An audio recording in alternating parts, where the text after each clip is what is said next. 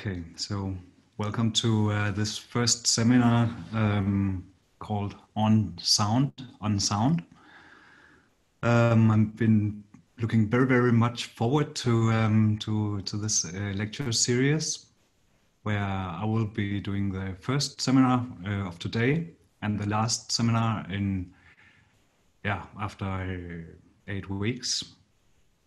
Um, the first seminar here is kind of an introduction um, where I'll present the course and uh, what we'll go through. Um, so I'll start out introducing myself. Uh, my name is uh, Jacob Eriksen. I am um, living in Berlin, originally from Denmark. And my background is in um, musicology, which I studied at the University of Copenhagen. I had um, some studies in philosophy at the York University in Toronto. And then I did an, a master's degree in sound studies at the Berlin University of the Arts. Um, I did my master thesis on the concept of repetition um, as a sonic notion through the through readings of Søren Kierkegaard, um, Friedrich Nietzsche, and Deleuze, um, who are not specifically philosophers of sound, but in their concepts of repetition, which they all uh, have, they have sonic notions. So that was what, what I was working on uh, there. And graduated from sound studies, I've been lecturing pretty extensively uh, at the Humboldt University in Berlin, at University of Copenhagen in musicology, and also at the Rhythmical Music Conservatory in, in Copenhagen. Um, also, I've been lecturing a lot at the Berlin University of the Arts, where of the faculty at uh, the Department of Sound Studies and uh, Sonic Arts. Um, at the moment, I am doing my PhD also at uh, Sound Studying and Sonic Arts at Berlin University of the Arts. And my research topic is on what I call the post-human attitude in sonic arts. Um, so I'm trying to um, addressing how topics from post-human theory are, are, are being expressed through sound art and experimental music. And um, I'm doing that by analyzing uh, exemplary case studies of artistic practice. Other than that, I'm also doing um, sound art myself. I'm doing sound installations. I do performances. Um, and I mostly use um, the computer program MaxMSP in order to do sound manipulation and uh, sound synthesis. Other than that, I am part of a, a research colloquium here in Berlin called Sonic Thinking. And um, that is what, what, we're trying to do there is um, to think through or with sound and not so much about sound.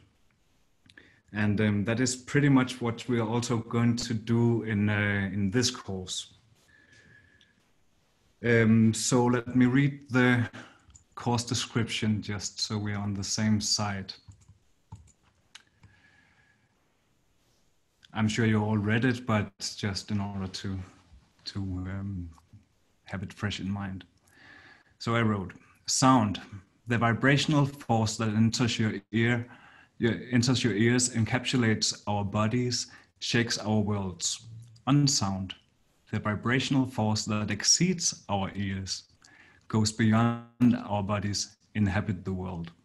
The interdisciplinary research uh, field of sound studies has in the last decades established a flourishing mesh of sound theories and listening practices. In Unsound Undead, from Urbanomic. just that's this book. Um, the research group Audint presents essays challenging the prevailing notion of what sound can be and how the world can be thought sonically. by addressing sound through its potentials as vibrational continuum um, on the limit and beyond human hearing, Unsound Undead, undead disentangles sound from its anthropocentric notions, revealing a world of sound out of sound. Through inquiries in philosophy, cultural theory, and sonic arts, this course asks what can inaudible sound do? What are the consequences of vibrational theories? How do these perspectives alter the way we understand audible sound? During the seminar sessions, these questions will, will be addressed in collaboration uh, with six theoretical researchers and sound artists who all have engaged with sound beyond sound, each through their theoretical and artistic practices, approach, and methodologies. Additionally, the seminar will touch upon and address concepts such as sonic materialism, polit politics of vibration, and post-human listening. So now I will briefly introduce the um, guest lecturers, which we will meet throughout um, throughout the next six uh, next six uh, sessions. The first one is uh, Leslie Garcia, who is uh, part of the group Interspecific, and um, that is an artistic research group who are exploring the more than human or other than human world through installations focusing on sound and specific, uh, specifically the, the interspecies uh, communication. Next up, we have Steve Goodman, um, who is also under the name of Kode9. He's a label manager of the, the uh, record label Hyperdub. He's a producer and DJ.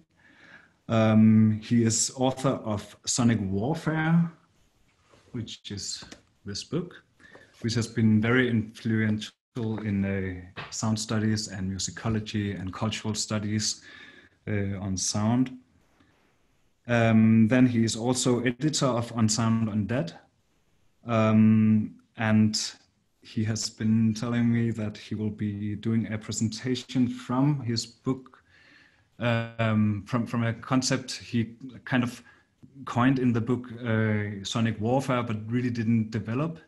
So that will be um, on audio virology, kind of a response also to COVID. Um, so I'm really looking uh, forward to that one, like a, a, new take on, on Sonic Warfare. Next up, we have uh, Lawrence Abu Hamdan, which many of you might be familiar with. Uh, he's a sound artist um, doing what he calls uh, sonic forensics. And that is kind of a political investigation on how sound is used as a, as a tool in conflict areas and conflict situations. Um, he has been uh, uh, doing exhibitions um, worldwide uh, in, in various established uh, art spaces and, and museums. And he also holds a PhD from Goldsmiths in London. Then we have uh, Eleni Ikoniadou. Um, she is author of the book uh, The Rhythmic Event, also editor of Unsound Undead, and part of the Audint unit uh, together with uh, Steve Goodman and she's uh, lecturing at the Royal College of Art in London. Then we have Toby Heys, also part of the, the Audint uh, Audint um, uh, unit. Uh, also co-editor of Unsound Undead. So we have all three editors um, on the roster, which is great. Um, then he's a reader in digital media and head of the Research School of Digital Arts uh, at the Manchester Metropolitan University. He's um, across, uh, doing cross-disciplinary research, focusing on the ways that frequencies are utilized um, by governments and uh, industry to influence and ma manipulate and torture. Last but not least, we have uh, Christoph Cox, who was uh, co-editing a very influential by um, yeah this book on uh, audio culture which um, really like I, I, encountered it when when I read uh, or studied musicology, and it kind of changed the way I did study study musicology. So I'm really happy that he's uh, on on on the lineup as well. He recently released uh, or published uh, his monograph Sonic Flux. Um, then he is author of numerous art articles on sonic thinking and sonic ontology which has been very influ- in, uh, very influential on um, sound studies, uh, scholarship, and debates. Um, he's co-author of Realism, Materialism, Art, and then he's a professor of philosophy at the Hampshire College in the US of A. Um, before we go any further, I would love to hear if you have any questions or comments so far. You can uh, raise the digital hand or just jump in. I also just check the chat.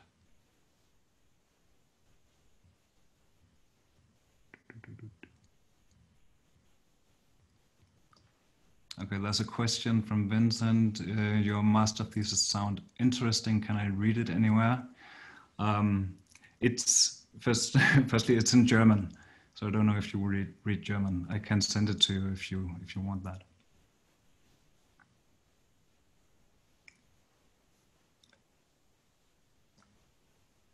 That's about it so far. Any other questions? No. Good. Um, we are quite a lot of participants. Normally, we would do like kind of a round of introduction. Um, I've been considering this because with um, potentially 47 students, now I can see we are 33 in, in the in uh, the participant list. Um, I was thinking that we could do something else than everyone presenting, which can be uh, be uh, uh, like it would take up all the time for today. So um, instead of that, I have made a spreadsheet, which I post in the chat now. And um, please, uh, everyone, go to that one and um, fill out uh, like your research interest, short biography, where you are located, and um, also you could write in your your interest in um, in the course. And if you have a website or any social media that, you want to uh, share with each, each other, you can also post a link to that one. So while you are doing that, I want to play some music. Um, and that is um, a piece of music that is also found in Unsound Undead by um, Sutela. It's called uh, Nemia City. So let's see, I'll just, oh, there's a question. Do you think you have a link to your master thesis about repetition? Um, I don't have a link. I, I can send it to you in, a, in an email.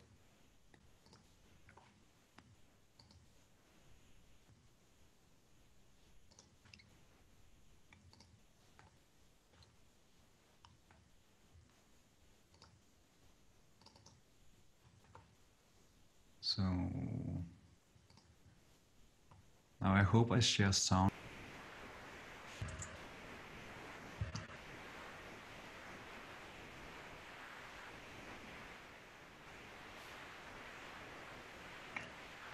All right, I think most of you have done your introduction. Um, you can, of course, edit it and, and add to it throughout um, the, the seminar today or, or afterwards. My idea is that I'll compile it into um, a PDF that uh, I'll send to all of you, and then you can can uh, read each other's uh, introductions. Okay. Um, next up, we have to do some organizational stuff. Um, most of you might be familiar with the structure of the news center. Um, that in order to participate in the course, you have to do some coursework, like you have to do a, a term paper in the end. There are some uh, additional coursework throughout this seminar um, that should also be stated by the organizers. Um, and some of this coursework is uh, presentations and respondences. And we should try to um, try to um, spread out all of your presentations and responses to to the, six uh, lectures um, from the guest lectures. So for that, I also prepared a spreadsheet, which I post in the chat now.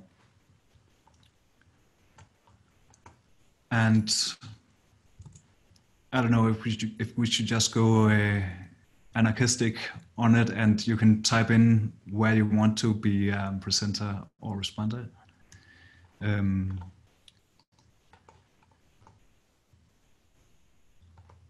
maybe we, we, we try to do that in the beginning, um, and then we see if it kind of works out by itself.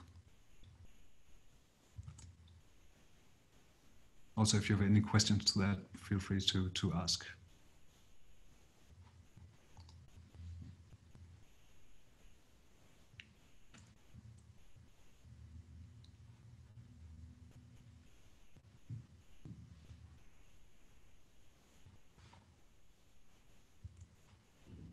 Think I have a question or? Yes, please. Uh, perhaps um, I wonder if we could have um, uh, some written information about the six um, six um, meetings we will have, so we can see where we feel mm -hmm. in. I wonder. Yeah. Uh, cool. Yeah. Sure. yeah, maybe not now, but maybe after. Information on them. Say, again. I haven't prepared any written information on them. Yeah, I was just wondering after, or yeah. Yeah. Yeah. Mm, I can I can try to do that. Yeah, thank you.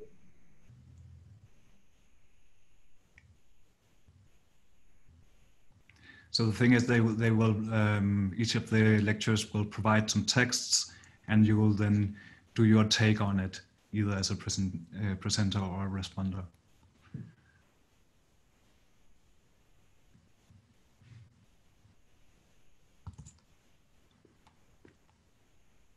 And I'm very sure that all of them will be very interesting. So let's see, the names are popping in, which is good.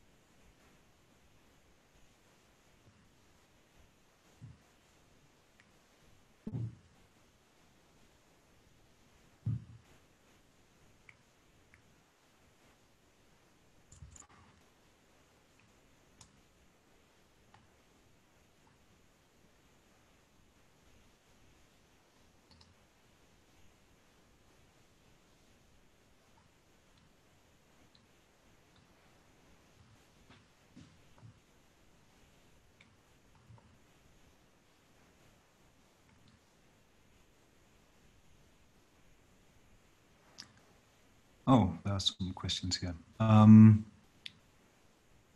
yeah, so Luca asked, sorry, what uh, exactly is the difference between presenting and responding? And James uh, kindly answers, presenters talk about the text and then responders comment on the presenter's presentation.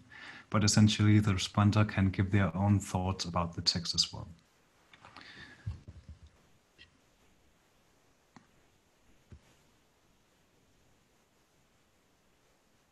From Enda, um, are we to sign up for one presentation and one response, uh, or one response, or just one of either? As far as I understood, um, you have to uh, assign for one of them this is my first course at the News Center, so if anyone who is more familiar with the structure can correct me on that one, then it would be highly appreciated.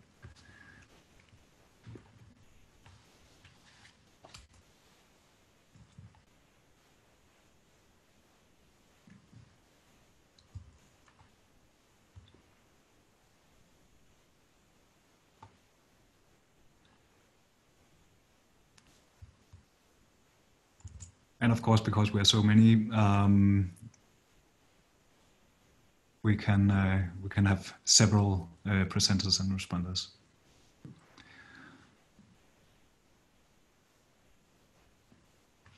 So there's another question from uh, Guillaume. Um, are we having weekly readings and making a presentation on them, or are we presenting something of our own interesting that relates to the seminar? Okay, good question.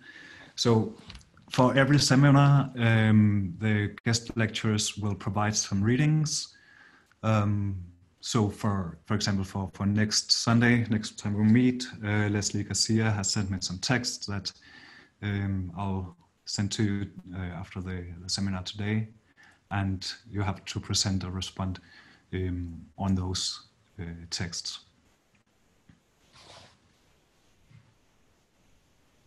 Thanks. You're welcome.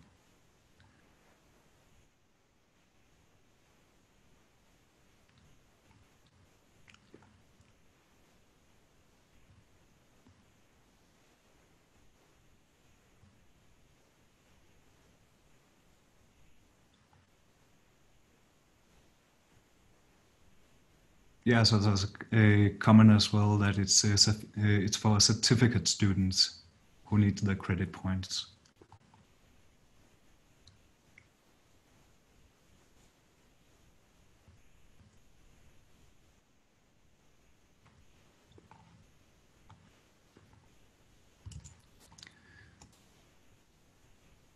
Okay. I'll let that work in the background. Um, let's go to um, today's readings. I don't know if you have read the text. Mm -hmm. So, um, because there are no presenters or responders today, I think also because it's a, a seminar form, I really hope that we can have a good discussion. Um, so I hope you have uh, prepared maybe some questions, some some some doubts, and then we can kind of discuss the text uh, together. I will do uh, an introduction to them. And um, then let's see uh, where, where it takes us, hopefully into a better understanding of it. Um, I chose these three texts in order to provide an introduction also to, to the seminar um, and to, to the topic of uh, sound studies. What is sound studies? Um, oh, that's a question here before we get into that. So sorry again, can you resend here the Google Doc? Oh. Now it, okay, someone answered that. Good. Okay, so um, I sent you three texts. One from uh, Jonathan Sterne, called Sonic Imaginations, which, which is the introductory uh, chapter from his uh, The Sound Studies Reader. Then I the third chapter of uh, James's um, book the sonic epist episteme. And then finally, the introduct uh, introductory chapter from uh, Unsound Undead. Um, yes, so um, the reason I chose Jonathan Sterne's text is to pro provide an overview of what sound studies is.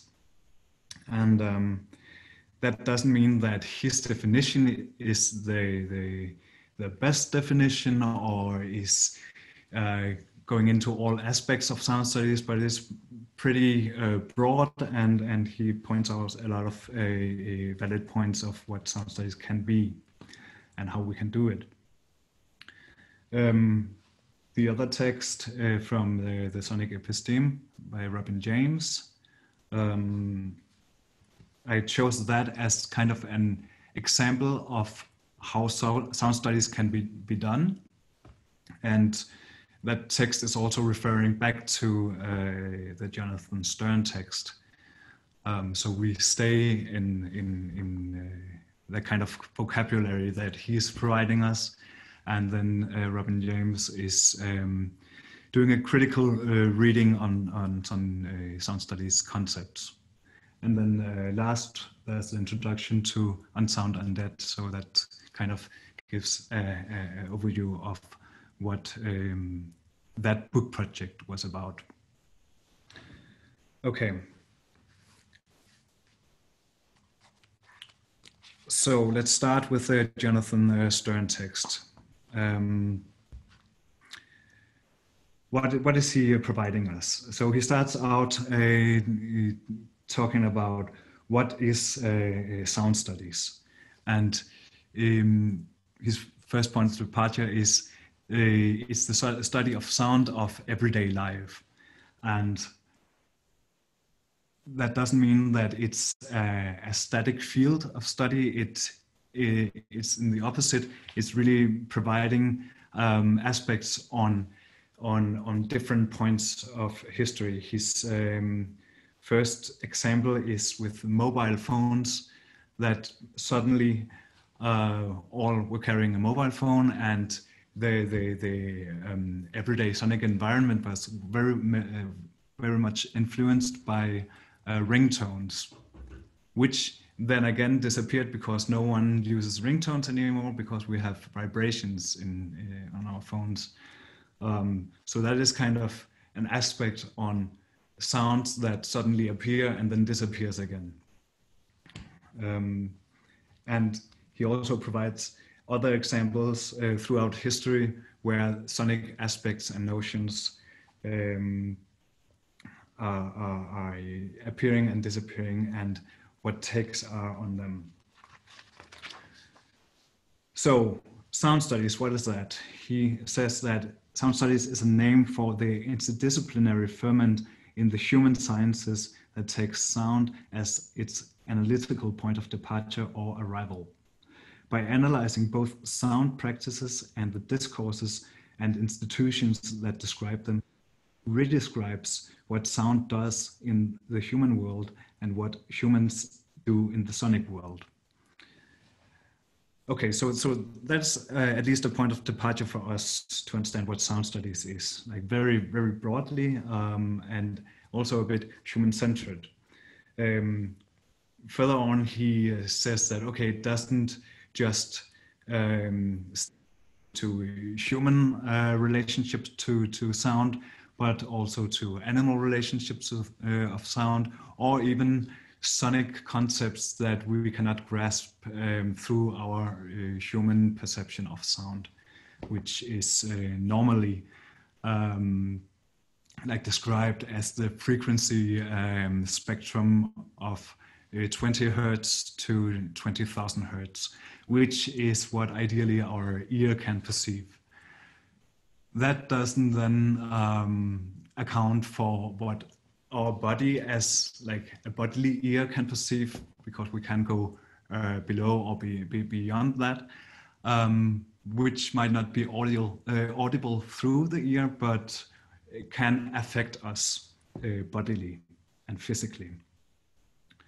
Okay, then he goes on and uh, introduce the, the um, concept of a sound thinking or to think sonically. And I think that is kind of the, the, the concept that is the most important in, in the introduction um, because it provides us with a vocabulary of how to uh, address um, theories and phenomena um, sonically. And he kind of um, using uh, he's he's introducing some examples of of uh, how um, vocabulary vocabulary is used in a sonic way. Um, there's the W.E.B. Du Bois um, quote where uh, he's using the word word uh, echoing um, as, a, as a way of like we, we use the word reflecting, which is we can say that's a visual way of thinking. So echoing could be one word. Uh, resonating, which we will also encounter with uh, Robin James, um, is, is, another way of thinking sonically. Um, and all of this, um, he is kind of, of, of building up to uh, what he calls the auditory litany. And I'll just find that one. It's on page nine if you have uh, the text in front of you. So what is this, uh, uh, the audio visual listening, he called this. So, so what is that? Um, a lot of sound studies scholarship um, starts out claiming that the world until now has been conceived visually but there's so much that we neglect through this uh, visual uh, uh, perspective um, that we can find in sound. Some of them kind of uh, say that actually we should conceive the sound, uh, conceive the world through sound as a more um, or a better way of, of conceiving it and understanding it. Um, and they kind of create this um, um, dualism between the visual uh, on the one side and, and, and the sonic on the other side. And on page nine, he is then uh, listing uh, uh, some examples of, of how hearing or sound um, is contradictory uh, or oppositional to uh, the visual. So I'll just read them out. Um, hearing is spherical, vision is directional. Hearing immerses its subject. Vision offers a perspective. Uh, sounds come to us, but vision travels to its object. Hearing, uh, hearing is concerned with interiors. Vision is concerned with surfaces. Hearing involves physical contact with the outside world. Vision requires distance from it. Hearing places you inside an event. Seeing gives uh, you a perspective on that event. Hearing tends toward subjectivity. Vision tends toward objectivity. Hearing brings us into the living world. Sight moves us toward atrophy, atrophy and death. Um, hearing is about affect. Vision is about intellect. Hearing is primarily um, temporal sense. Vision is primarily spatial sense. Hearing is a sense that immerses us in the world, while vision removes us from it. Okay. So, what happens here is, of course, um, an ideal uh, way of understanding uh, the world kind of beyond hearing, but using hearing or, or auditory metaphors uh, in order to give, get a new perspective of how to encounter the world. And what is suggested by this approach is that sound can, with sound, we can situate ourselves and understand the world from within, um, which is opposite of the positivistic way of of um, uh, distancing yourself from the world and uh, look at it from afar with uh, from afar with this um, God eye perspective, um, which has been very much criticized through philosophy um, or late philosophy uh, because it has again and again and again been yeah, that um, we can always think different.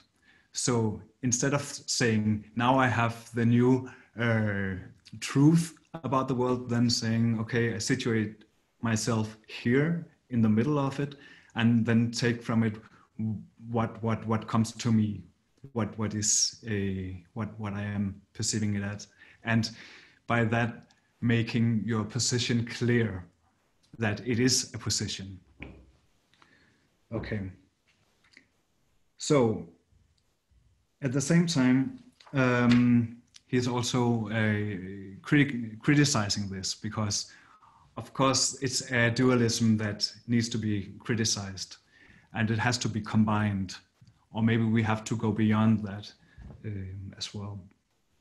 Um, but it's very good to have in mind that that is an argumentation that is used throughout sound studies in order to maybe to to um, sound studies to to uh, be some kind of importance. Of course, sound studies is important, but it's not uh, in, in, any hierarchy above uh, or philosophy or, or whatever. It has to connect. Okay, so this connection is also um, very important because as he argues that sound studies is a hybrid field in itself. Um, as it is with uh, other studies um, where you have uh, cultural studies or animal studies or gender studies or there, there are a lot of uh, uh fields of studies. Um, it's different than the kind of classical uh, disciplines of, let's say, philosophy, anthropology, um, sociology, uh, musicology, uh, and, and so on. So, what does this studies mean? That means that it is inherent uh, interdisciplinary or transdisciplinary, um, taking an aspect which we can find in all these other disciplines and uh, focusing on sound uh, in, in, in, in, uh, in this instance, or gender, or uh, visuals, or um, whatever the studies uh, represent.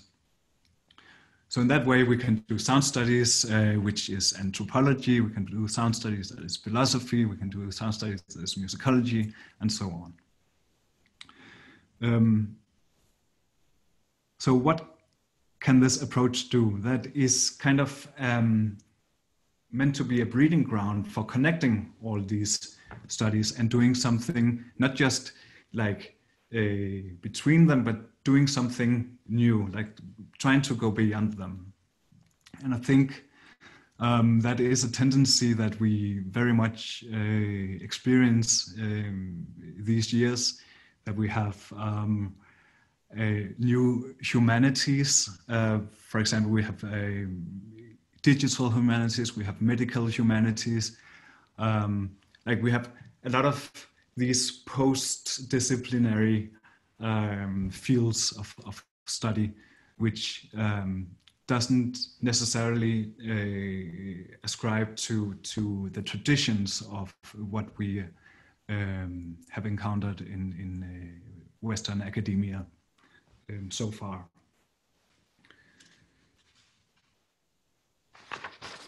Yes, so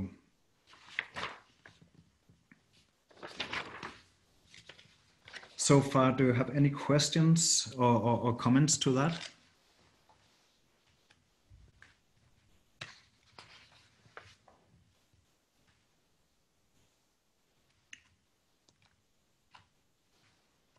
Nope. Oh, there's one there. Let's see.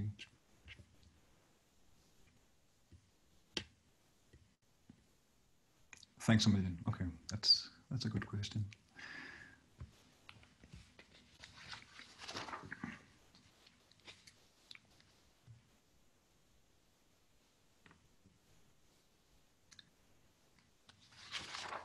Okay, so um, let's go to the next text, the one of uh, Robin James. I'll just find, I put my notes on that one.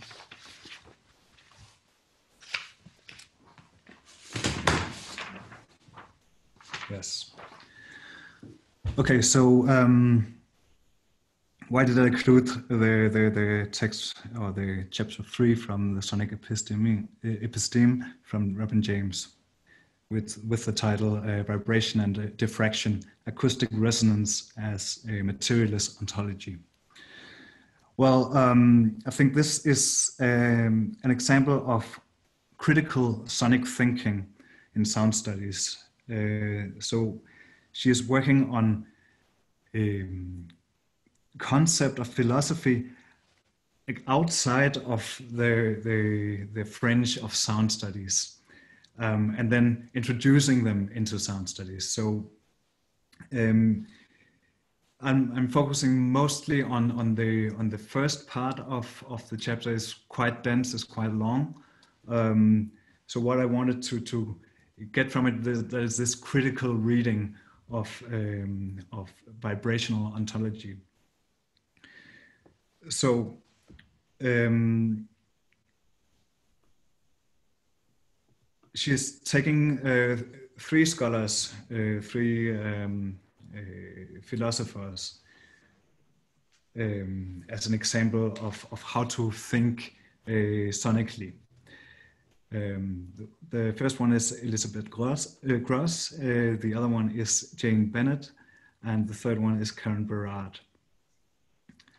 And she kind of treat them both individually, but mostly as like one having the same um, um, perspective on on vibration as as a physical uh, uh, uh understand a physical understanding of the world.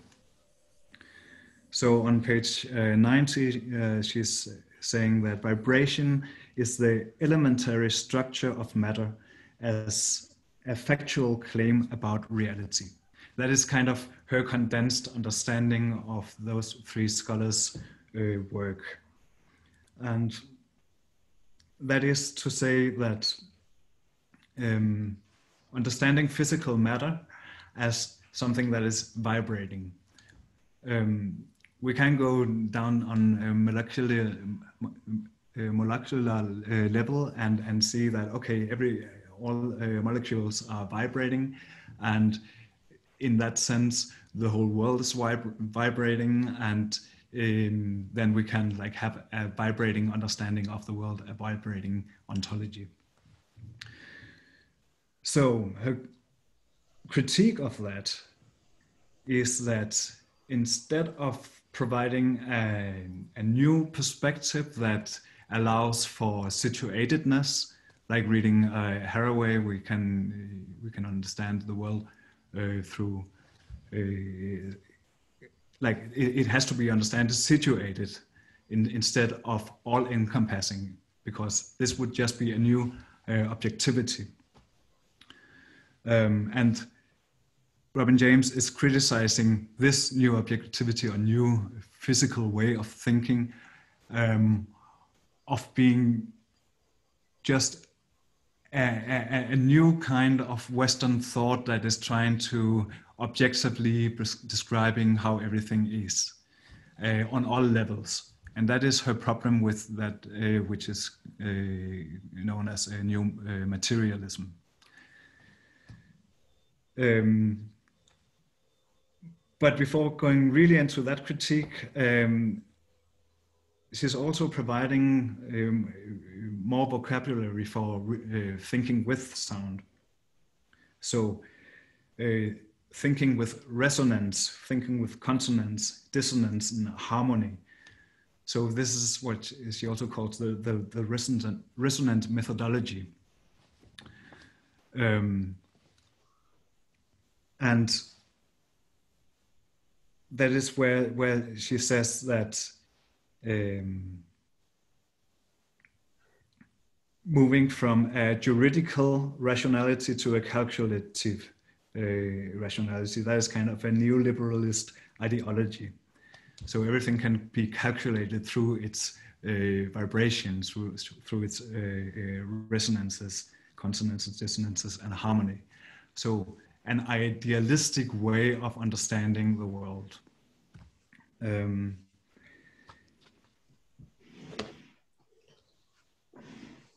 she provides some alternatives uh, after that in the end. But i think i think we have some um, i think we have some ground here for for opening up for discussions. So i hope you have uh, a lot of questions that we can like kind of engage with uh, uh now There's one comment saying peak Western animism. Well, uh, maybe uh, Martina, you want to elaborate on that? Hey, hi.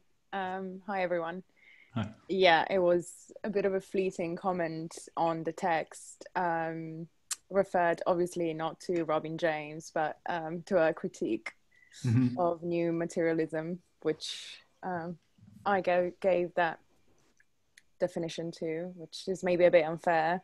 Um, but it's kind of how I see the way that they try and interpolate and kind of use sound and vibration to their own advantage in a way that seems a bit superficial and ill thought. And I think um, the part of the essay when she was speaking about the audiovisual litany was particularly stringent um, in exposing how that's kind of like a fallacy of this binary between the ocular and the auditory and like this ideal form um, of understanding this auditory which yeah seems a bit superficial and misses out on on a lot of more uh, of a more complex understanding and unpacking of sound by the otherwise and a lot of other people, you know, hence the critique of non inclusivity into the history of feminism, non inclusivity into the discourse of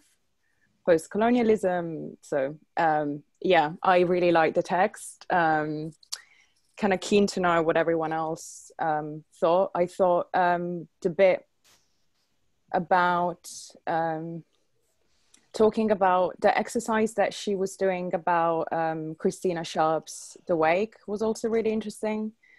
Um, and the exploration of sound um, across Black radical thought um, kind of made me think of um, maybe uh, Fred Moten's recollections of the um, Aunt Hester's Scream. I don't know if people are familiar. Um, Maybe you can with that.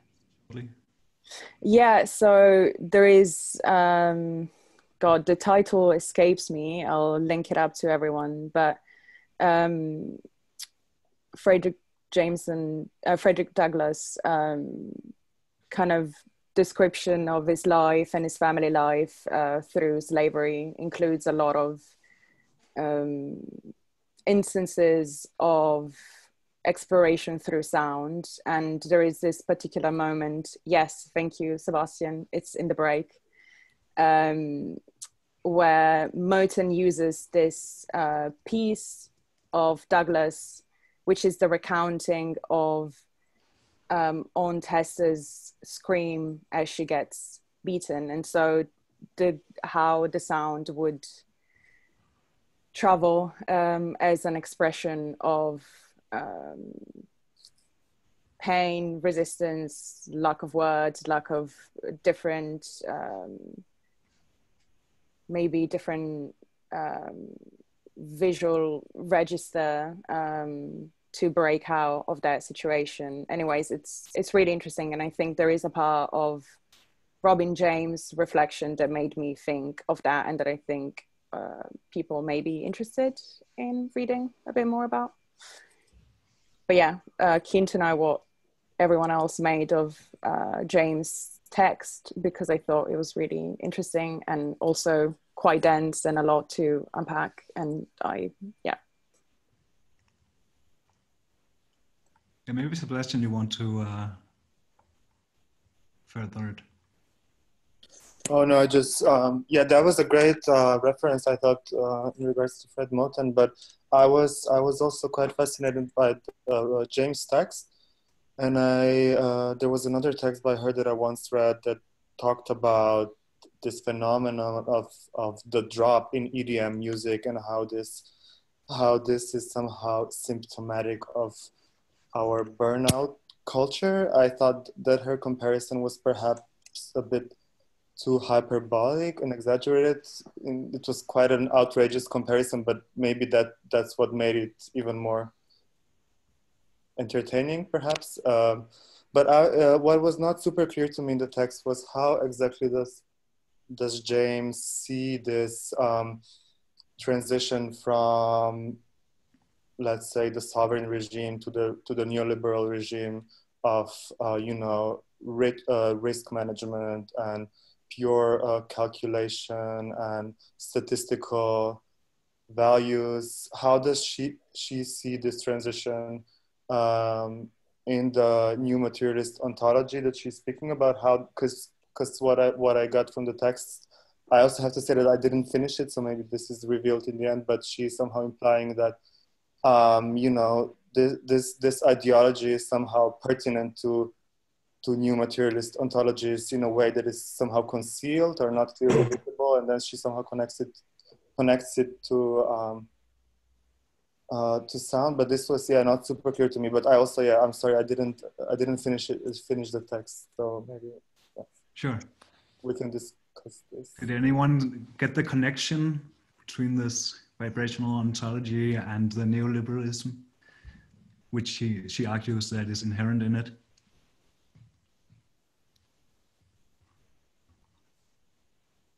Um, I think maybe I was kind of perhaps did. Um, I've, I was kind of thinking in, in the sense of like how representation within neoliberalism tries to quantify things um, and like force them into a numerical system of, of, of, of ontologies.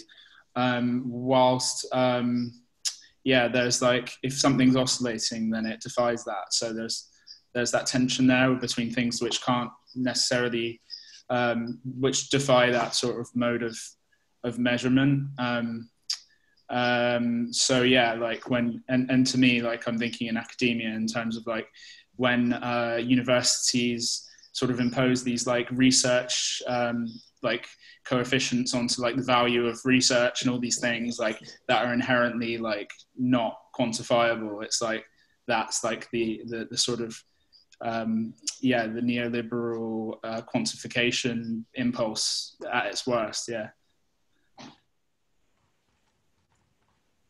Yeah, sure. I think uh, that was also what I got from it, like this, um, like uh, idea of that you can kind of calculate uh, and rely upon um, um, like this new kind of chance calculation that the world is open, but according to this set of of, of uh, numeral ideologies. I had also a brief question about this text. I was interested in the selection of references too that she uses to exemplify this argument, and I it made me wonder whether these three um, theorists and then the also pop cultural reference she uses are really sonic in the same way that she characterizes new, material, new materialisms as being because they seem almost to be a sort of sonic form of witnessing maybe or they're more concerned they almost turn a sort of i mean using this uh, audio you know the audio visual um, uh, litany they seem to sort of make into sound forms of, of representing, whether that's a kind of witness of historical grief or it's like a, a, persistence of something that almost has an archival basis. And I, I was kind of curious about those choices because it seems like there are other there are other sources, even if you want to confine yourself to like a black so, black studies source that deal with orality as a way of pushing uh, past forms of enclosure. I mean, of course, deconstruction is ex- an example, and that I think that idea of orality there also has a sort of um, draws in some way from African tradition. So I, I, wouldn't say it's it's necessarily reason to you know uh, reject the the critique, which I also found extremely compelling. But um, it made me sort of pause at at the way um, James was making that argument. Mm-hmm. So I mean the the how she chose the the um, what they call uh, Grosz, uh, Bennett, and Barad. I'm sorry, I, I meant rather um, the selection, in fact, of the um, the Christina Sharpe text and the three examples that she relies on later.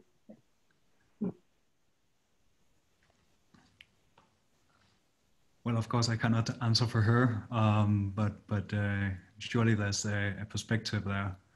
Um, that might be missing.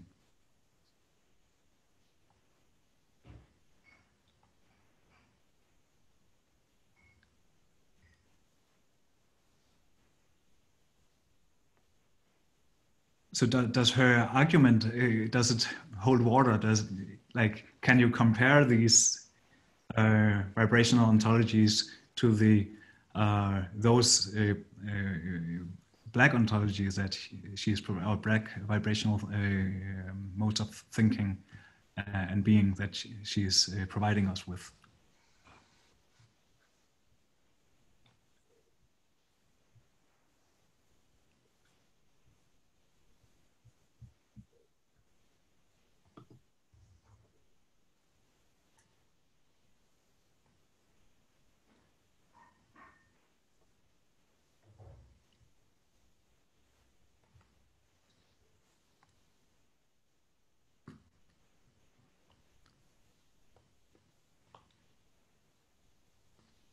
So if that's not the way to go, how, how do we open it up then? Um,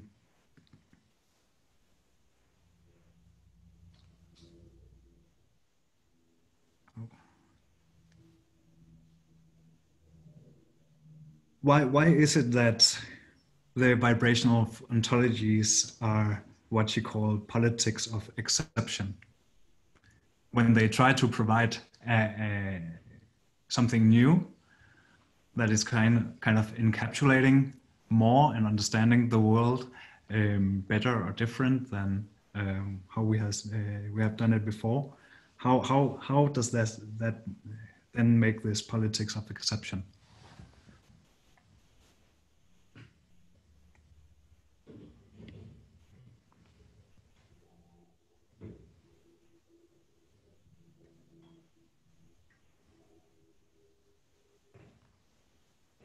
Vincent, you have a, a comment there. Maybe you want to say it out loud.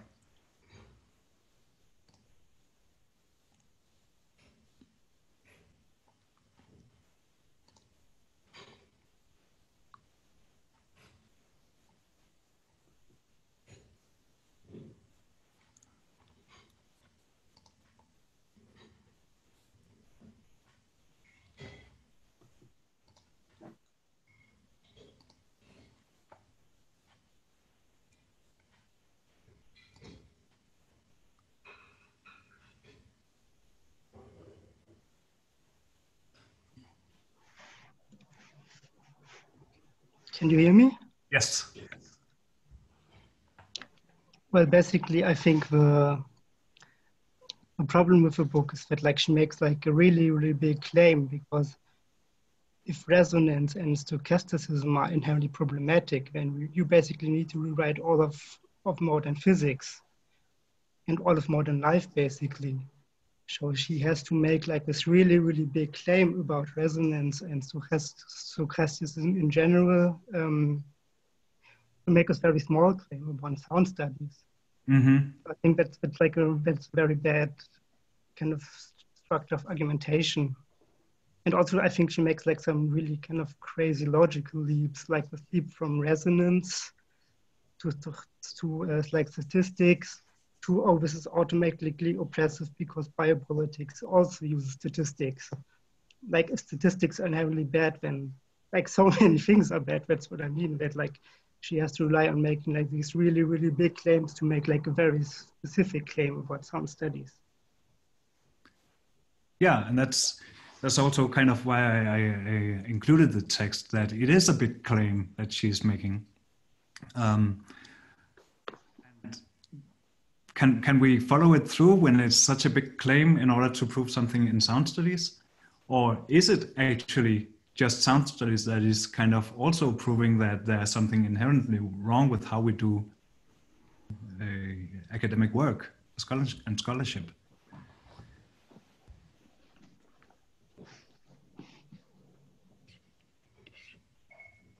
I mean, I'm I'm just trying to like. Um, unfortunately, I didn't. Uh, only got halfway through the text as well because I've been moving um, at my studio. But uh, I'm kind of curious as to whether she is making the claim, um, you know, uh, of disregarding uh, vibrational whatever, uh, or if she's just kind of like making a claim against new materialist ontologies, right? Because I understood it to be more like she's making a claim about like uh, a counterclaim to a strong claim being posed by the three theorists that she draws up, which is that like this is the new sort of like ontology and therefore like uh, you know any kind of representational one is is is more abundant like not worth pursuing. Um i mean does this imply the the claim therefore that like we completely disregard um you know uh, uh like vibration as a kind of uh, as a kind of avenue. I'm, I'm not sure if it goes that far but like i say i didn't actually finish the text so i unfortunately i can't really like say what what what's being said in the text in that regard but yeah main parts of the critique is in the in the first part of the text.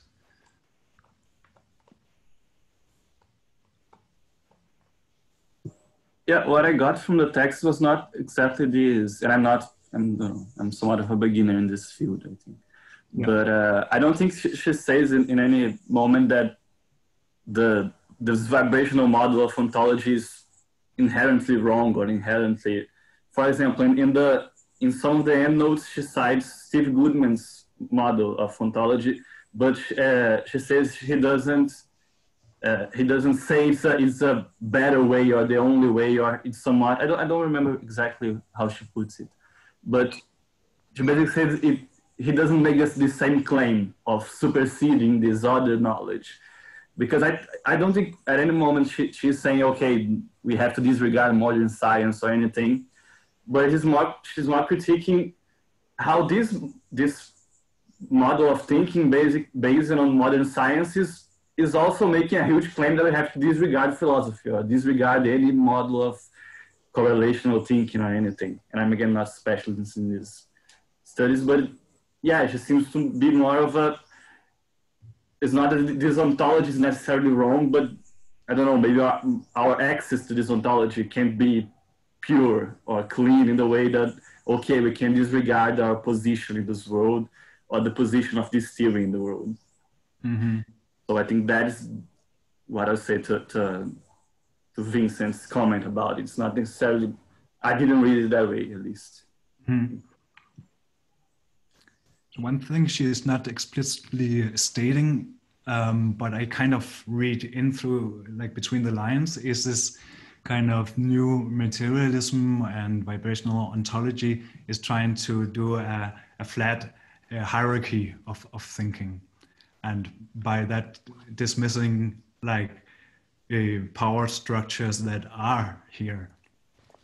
Um, that was what I kind of uh, like she could have been more ex explicit about that if that's what she's also meaning. I'm not sure about that, but that was one thought I had while reading the text as well.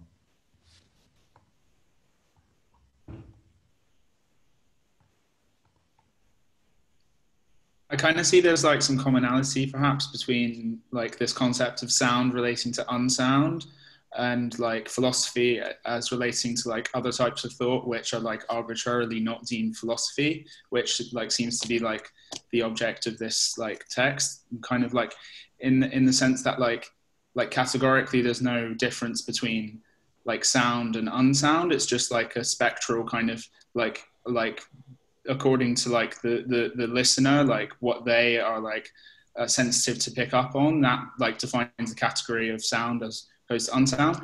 While like like so someone else is like gatekeeping like the boundary of what philosophy with capital P is in mm-hmm. relation to other types of thought, which actually like like do have as much value and like importance. So like yeah, did you sort of see that when in that in that relation between the text and and this like in a more broad sense like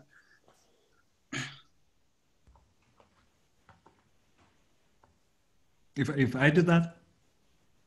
Yeah yeah i don't know. It was it was uh, that to me feels like I, I don't know. Maybe maybe it was my my reading of it rather than yeah no it's it's a good question. Also addressed in uh, in Jonathan Sterne's uh, text this kind of understanding sound as vibration. Um, so is anything that vibrates, is that then sonic inherently?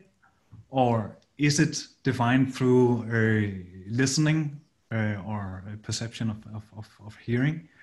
Um, if it's a squirrel or a human being or a whale, um, is it sound when it can be heard by someone who can perceive vibrations uh, as as sound, um, or is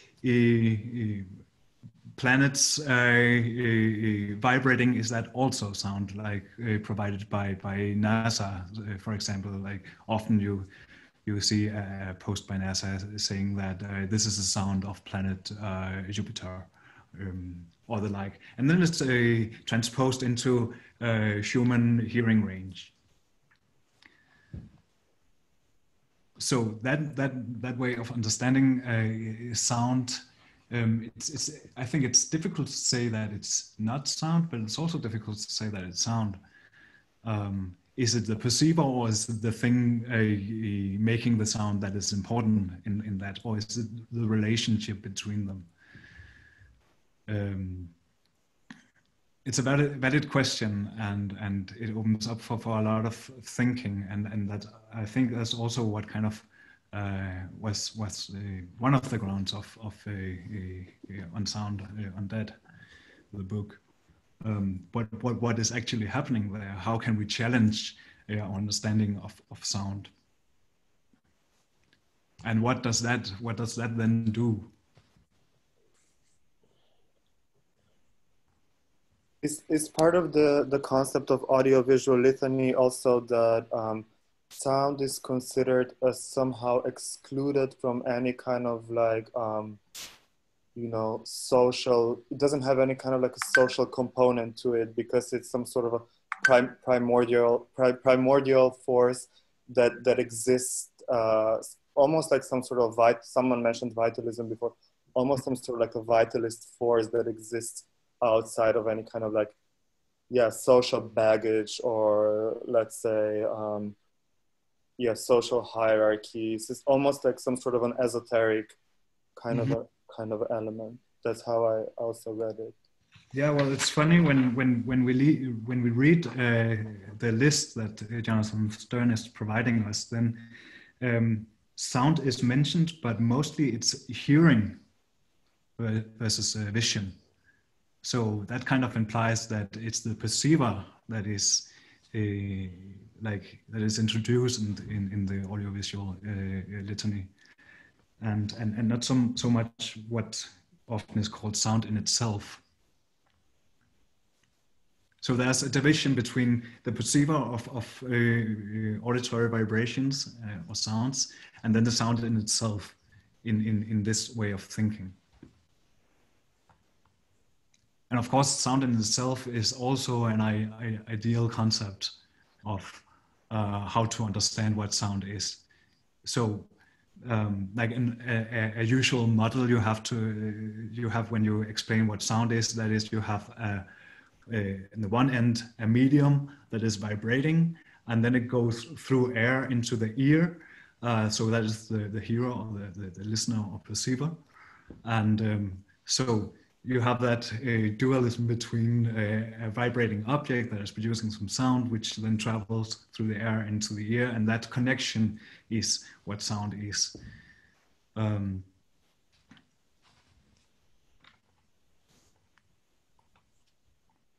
Vincent, you are allowed to talk as well.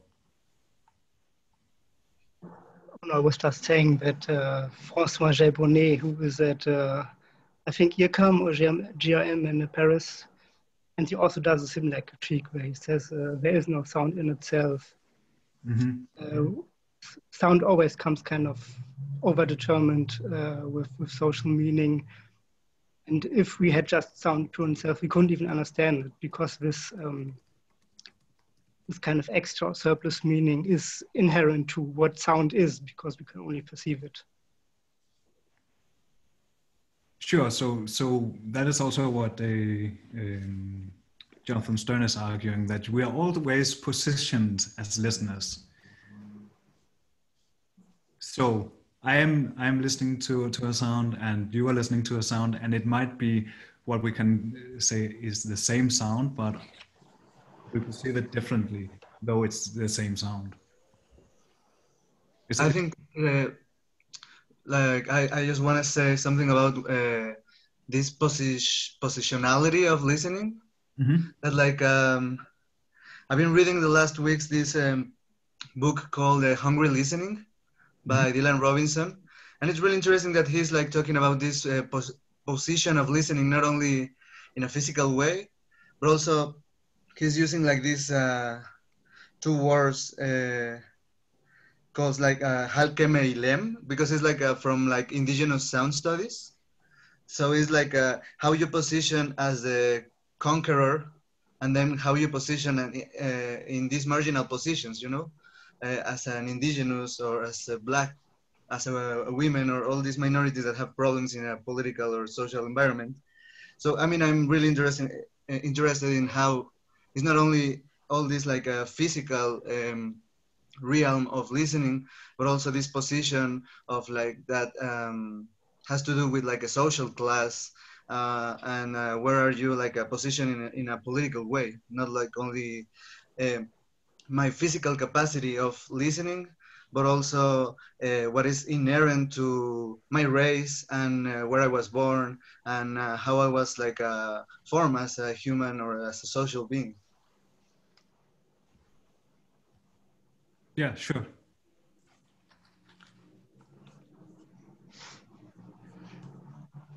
And maybe that's also the point of of of uh, um, James that she is trying to to claim.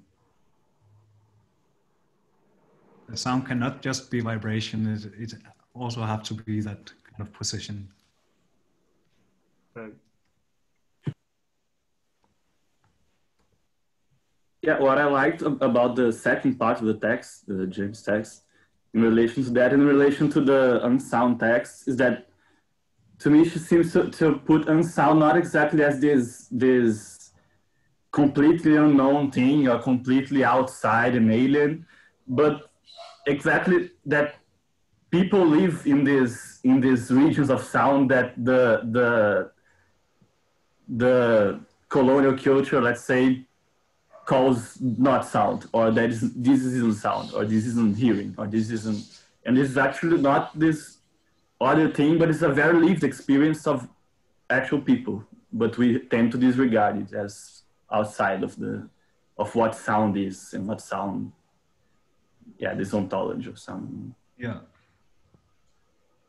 And this this is actually some uh, in regards to the to vincent's comment of of his last comment uh, this is something I'm, I'm currently interested in, research, and I'm again I'm new, so I would be very interested to know about what you think about it. Uh, this sort of sound themselves, and that brings me like to, to music, basic, right? Uh, John Cage's uh, thinking and everything, and it's very it's it's uh, caught my attention in the the the the reference she makes, the, the three authors, uh, James cites, that is, it's very musical uh, thinking, right? It's like uh, resonance, consonance, dissonance, harmony, chords, and and harmonics. And I was thinking exactly about that. How, at least from uh, from what I'm studying currently, there is this sort of musical thinking that is very abstract, very sounds in themselves, and there's only these vibrations and relations about that. But sound studies maybe, or these other theories of sound or post-Cagean sound art practice, I don't know, are interested in the opposite of that. That is this meaning of sound, of sound, significant sound, of relational listening and everything. And I don't know, I would be very interested to know what everyone thinks about it in, in, in relation to this text, because it's something that caught my attention, these readings. Yeah, so there's a lot of things in, in, in, in your comment there. Like, for example, yeah, uh, sorry. that's good. That's good. Um, also, a thing that, that I was thinking about while, while you were speaking and, and while I was reading the, the, the James text was this uh, that that vibrational thought or vibrational ontology is nothing new. Like we just have to just we we have we, we can go uh, all the, all the way uh, back to I think was uh, Pythagoras who was uh, talking about the harmony of the spheres, like a sonic understanding of the universe. Like everything is harmonious in that way because it is vibrating, it is a musical in in in that way. Um, and it's maybe just a new take on on on that which has been yeah presented through Pythagoras and Kepler and uh, Kircher and there, there, there, are many uh, musical thinkings or understandings of of the universe in itself and that it has to be uh, a, a, harmonious, or it is harmonious in itself also when it's uh, resonant. Um, that is where it flows and ebbs into uh, itself and each other. Um, so that was the first thing I was thinking about. The next thing I forgot because I was talking. Maybe it pops out in a minute. Other comments on that?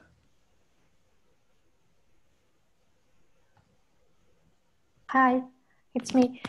Uh, as we have said, sound is a kind of uh, and sonic uh, research is a position that we take, and uh, of course, it's a highly philosophical uh, question in my point of view. And as the text said, um, in the ways we perceive the world. So I was thinking that maybe that model of thought related to the vibrations and all these uh, sonic terms and uh, all, all, this terminology maybe mostly describes this highly difficult uh, world of effects that we live in. So maybe along with this ontology that uh, the texts are trying to describe, maybe this contribution might be seen as a comment on our current temporality. We've said about neoliberalism, we've said about biopolitics. Maybe there is also a parallel line of uh, making an, an, ontology of our current state in terms of uh, this mess of political action, this entangled reality of uh, many different epistemologies where the sonic can offer a, a lot of uh, metaphors maybe. So may, maybe this this is a good not a, a, very effective way of describing what's going on. Maybe because matter is under question uh, effects are under question and maybe after the postmodern condition there's something else that yet we have no no terms to describe it exactly some thinkers try to describe it many epistemologies are trying to do transdisciplinary uh, approaches. Uh, so yes, maybe I, I, after all these contributions and uh, the very nice comments I've heard, I'm thinking of that. That maybe all these discussions are in a long way of producing uh, comments on this current temporality, which I don't know how we can describe it. Maybe Mark Fisher tried to describe it like a dispersed corporation of uh, of uh, new kind of uh, uh, capitalism realism, but there, there might be a lot of contributions onto that. Uh, maybe still we don't know what will be this temporal the name of this temporality but i'm i'm thinking of that like and after all these comments like uh, like we are moving towards that toward describing also uh, let's say, a historical stage, a new historical stage through this ontology, something like that. Mm-hmm. I think that's a very good point. Also, I think that's the point of of uh, Robin James' book, like the sonic episteme. That is like how we understand the world through sound, um, and she is describing how sound scholars or sound students are, are describing this world through sound as a new way of thinking. Um, and on the same time, she is critiquing it and coming with alternatives to it. It's a very good point. Yeah, Catherine.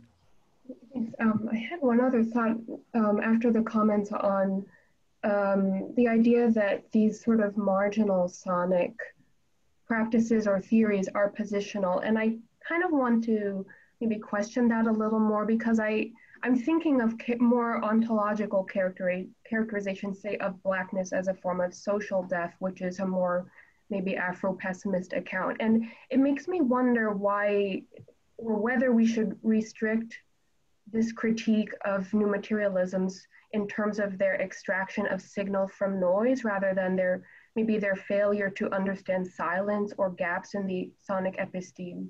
Because I mean, and it seems like both of these critiques could be valid and the, the, the positionality of sound, especially for marginal groups is very valid, but there's sort of another, maybe more ontological like substructure of this that kind of gets re-provincialized by this approach where the people who are doing work that picks up on historical traces in a sonic way can are this exception but in fact the, the sort of maybe more foundational critique of blackness as a category in its sonic form still evades this critique that james is offering mm-hmm. Any any um, takes on that how can we further it how can we develop this maybe in a third way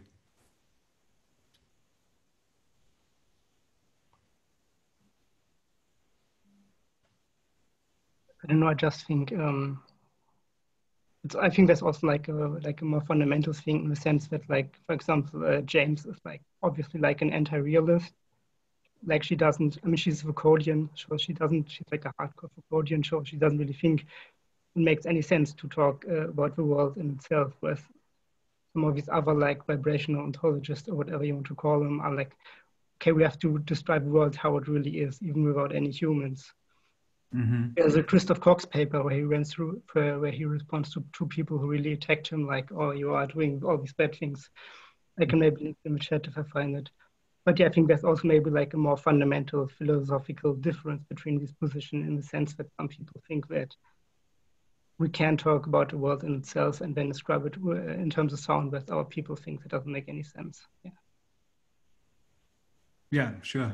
Good comment. Um, she is also by using the word uh, episteme. She is in a, a Foucauldian uh, tradition of thinking, which means that we are always in the world as thinkers and not uh, we, cannot okay so so truth is what we make it and truth will uh, change so they um, what we thought was true in the 16th century, which is often what, where, where Foucault goes back to, um, was at that point uh, true about the world. And then it changed through Renaissance and, and, and up to uh, modernity or modernism. Um, and now we are maybe uh, after uh, modernism, we are uh, postmodern or, or even post-postmodern and that might provide a, a, another way of thinking. I think um, that is also what, what, what she's trying to do. Like saying saying that okay, uh, uh, new materialism is is um, just a new way of of doing the episteme, um, and in that way she's um, criticizing the way of they they they're arguing, arguing for a kind of objectivity, um, and and by that um, excluding um, the power relations, power uh, structures that we we have learned from uh, Foucault. So definitely, definitely, it's it's two schools of thoughts that are colliding there. Yeah, so Vincent just posted um, an article by uh, Christoph Cox, who uh, we can maybe talk to him about in in, in the last uh, of the guest lectures. Um, I also included this text from Robin James because it's criticizing a lot of of this idealism, which is uh, inherent in, in, for example, uh, Cox's uh, theory, and I think it's also all right to criticize um, the way James is um, narrowing it down to an idealism because when you read Bennett and and and and Barad, I haven't been too much into to Grosz, I, I must admit, but they are they're very uh, reflected upon their this positioning of themselves, um, especially Karen Barad being uh, being not fond of only having a physical world, but having this bridge between or or com combining uh, what has been divided uh, uh, in, in nature and culture, that it, it does it does connect. Um, so it would have been a bit beautiful, I would say, in in, in uh, James' take on on on especially Barad, uh, that she is trying to get rid of this dualism between nature and culture, and that nature and culture is one and uh, and the same. It works together all the time as one and the same. Um, I don't know if anyone else. Uh, so Enda, you think that James subscribes to Yeah, I think I think earlier on she basically says, um, I mean, at least that that she doesn't really dispute this kind of um, intra agency that's posed by Barad, but I think more um, well i think i think again having not read the whole text and i'm very hesitant to like say too much for that reason but um you know uh you can posit this kind of like intra agency but then not really speaking about that in in in um like what that what that intra kind of constitutes in a sense. Um maybe elides a lot or i don't know i mean my my real sort of like underlying thing here is is is I, I feel like she's not really like trying to have a go at new materialism in the sense of like saying that uh like no no it's it's totally an incorrect view. It's, it's more like i think she's like negating the the like the posturing of new uh, of new materialism in a sense uh which which is a kind of implicit claim that truth can be gleaned from this kind of like immediacy of being. And i think it goes back to the kind of um the other text the, the previous one which sets up these kind of like dichotomous relationships between like the visual and the auditory um, in which like there's a kind of underlying assumption in favor of, of sound uh, that the kind of you know the circumambient or the kind of immerse the, the immersive model uh, and the kind of closeness uh, has you know there's a kind of there's a kind of uh, I don't know maybe like a, a kind of an a, assertion that this this is kind of like um, this being with uh, has absolute advantage. Whereas actually, I, I, think it's worth asking like whether distance has lots and lots of useful virtues, uh, and not only whether that distance has virtues, but also what kind of a context in which I think somebody was saying it earlier. You know, in what context is that distance to be communicated? I think this is elided in, in many ways, right? Like, yes, I mean, you have like uh, the the history of, of enlightenment rationalism and all of the kind of baggage that comes with this but this isn't you know this isn't making like a, a, a kind of formal claim from a kind of historical um, like contingency in a sense. And can we uh, like like step back from this in some sense and think of some other way to kind of negotiate between competing representations rather than to simply say that uh, you know this kind of non-representational or vibrational mode of understanding uh, has primacy? Because I think this is like how it lends itself to the neoliberalism of like not not positing some third, some other outside of the immediacy of the given, in which case you can't really start to like develop new political projects or something like this. You have just like constant uh, open input model of, of, of sound, which, you know, then it kind of like falls back on like subjective determinations rather than having a kind of um, like a positive project to kind of uh, use as a critique of, of the sort of like, yeah, uh, all the stuff that, that um, yeah, again, I forgot who said it, but it was a really great point about how, you know, uh, this kind of circumambience of sound maybe is a good analog for discussing how uh, you know um, the conditions, the, the kind of phenomenal conditions of complexity uh, are, are, lived in in the sort of contemporary moment. So yeah, I think I don't know. Um, I, I, felt like that was kind of what she was doing in the first part that I read, which was um, yeah, suggesting that this kind of immediate like sweeping aside of of that representational third is is uh, you know limited strategy um, yeah, that was that's. Yeah.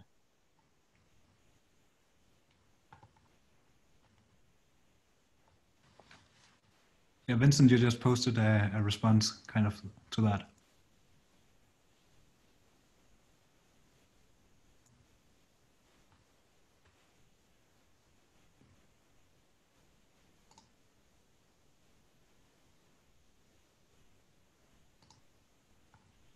Vincent?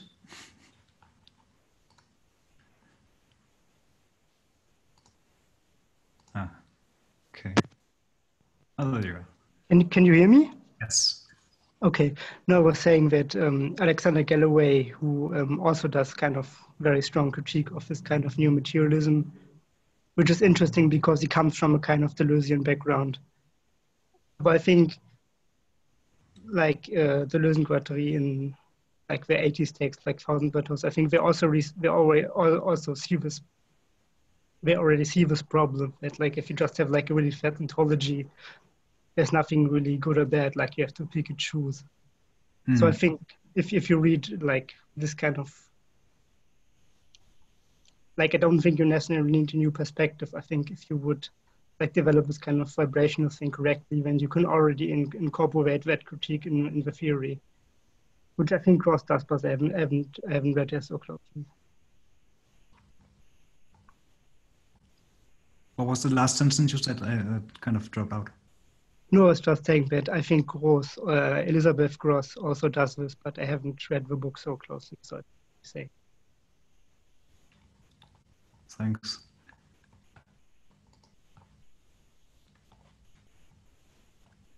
I have like a comment that um, kind of relates to what Enda was saying. Um, just like kind of thinking perhaps um, of this like synesthesia involved with like a post-human understanding of um, of sound and um, perhaps that this maybe in the in in the paper where was discussing um, forget which of them it was but the one that was discussing about how sound can be extrapolated from from image using um, yeah.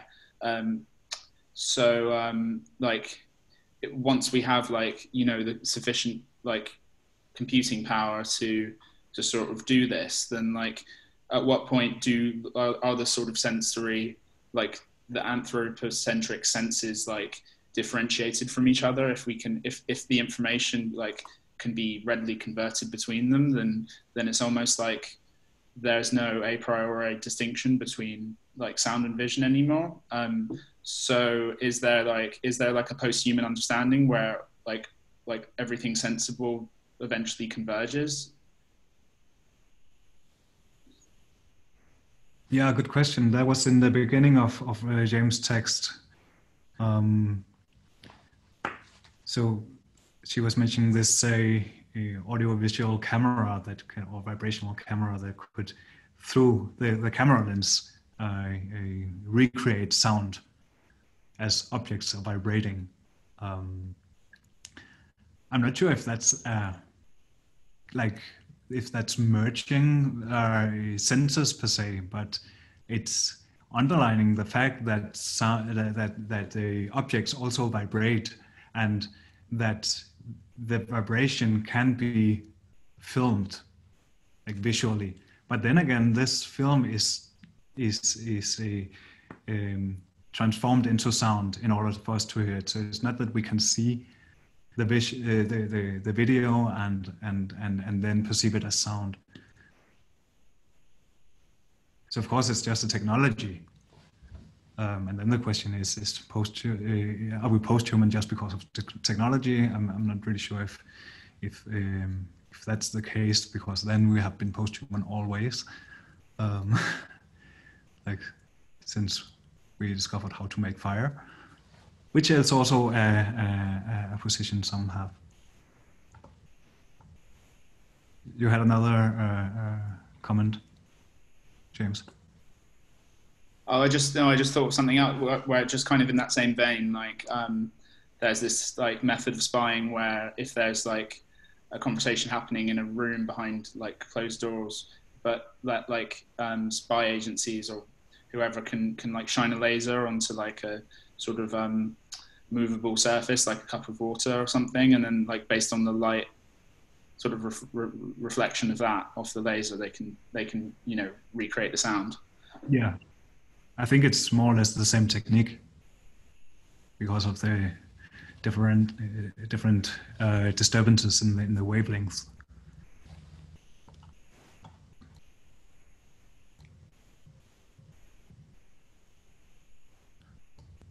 but surely it's giving a, a, new perspective on, on, on technology. What, what can be uh, considered as a, as, a, as a listening device? It doesn't have to be a microphone that is in the air. It could be a, a laser pointing. It could be um, a camera.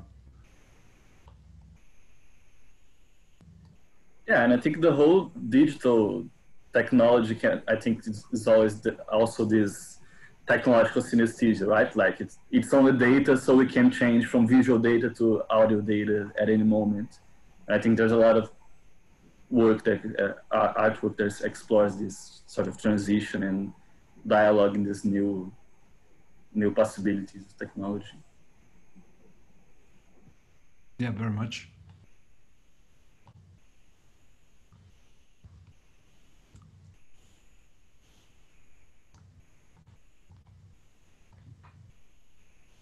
Uh, just a moment. Yeah, and it's also what we are going to talk about next uh, uh, time um, with uh, Leslie Garcia and, and this kind of interspecies communication. Because what, what she's doing a lot is, is uh, like taking, taking non-human materials or, or, or beings um, like bacteria or, or, or um, fungi and, and translating that into a sound and is that then communication or is that just like making something auditory? Um, I'm very sure we'll, we'll talk a lot about that, but she's like creating this kind of technological um, uh, setup.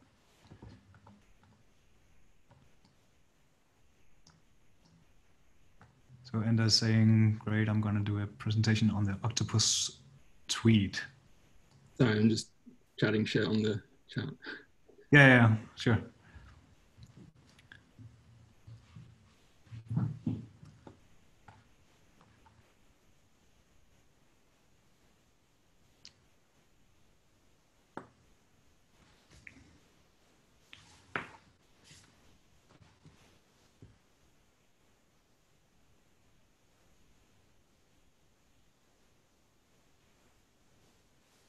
So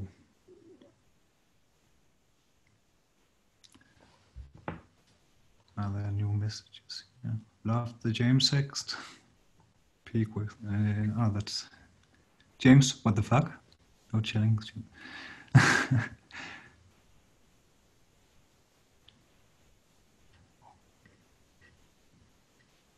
ah, now I understand as well. Sorry. No, all good. Let's keep this conversation going um, yeah, maybe we should uh, try to incorporate the, the introductory chapter to uh, Unsound Undead. It's a very short text. Did you uh, all read it? Um, yeah, it's just a few pages. Um, Oh, let's see here. Thanks.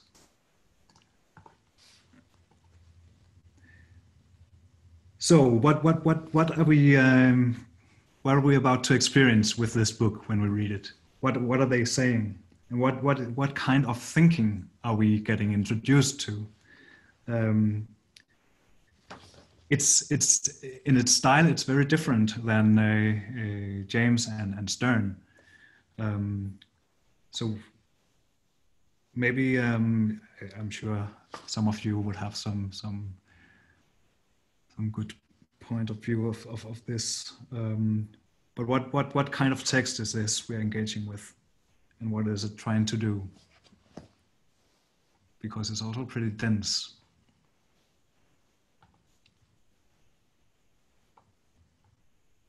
Anyone?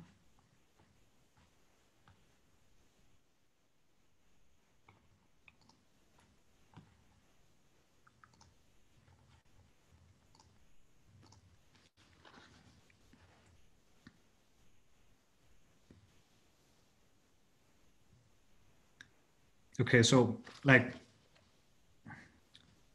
one of the core sentences I have underlined is um, this is unsound as a speculative probe. What's the, what is meant here? As unsound as a speculative probe.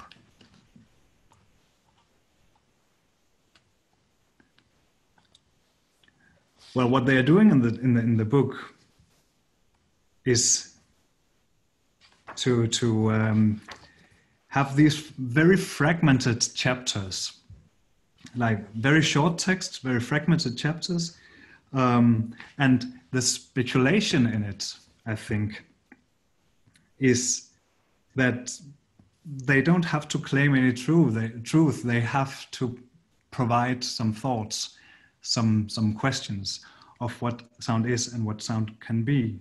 Um, we uh, experienced uh, Jenna Sutela's uh, work uh, earlier while you were typing in your, your uh, short bios.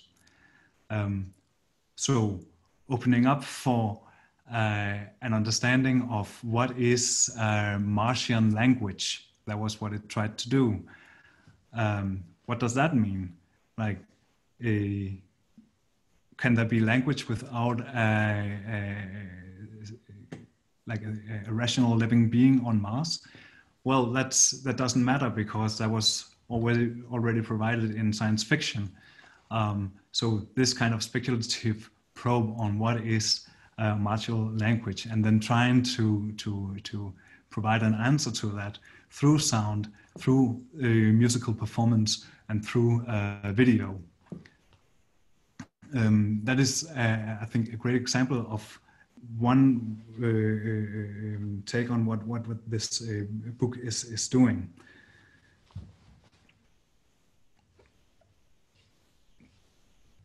So we have hauntology or martiology and um, xenosonics as the, the, the, the like kind of in framing uh, uh, words. So martial hauntology, that is like very much this like uh, going beyond what what Goodman introduced in Sonic Warfare. If some of you read that, like how is is is sound used um, as a war machine? How is it? Um, and, and and not just as a lethal weapon, but maybe something that can be yeah, not as bad as death, but like trying to scare the hell out of you. Um,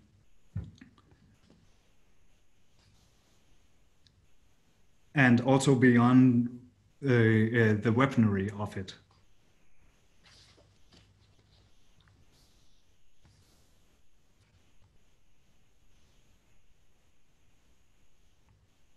I'm sorry, I, I lost it a bit because of the, the discussion. I hope it's okay. Maybe someone has some, some comments.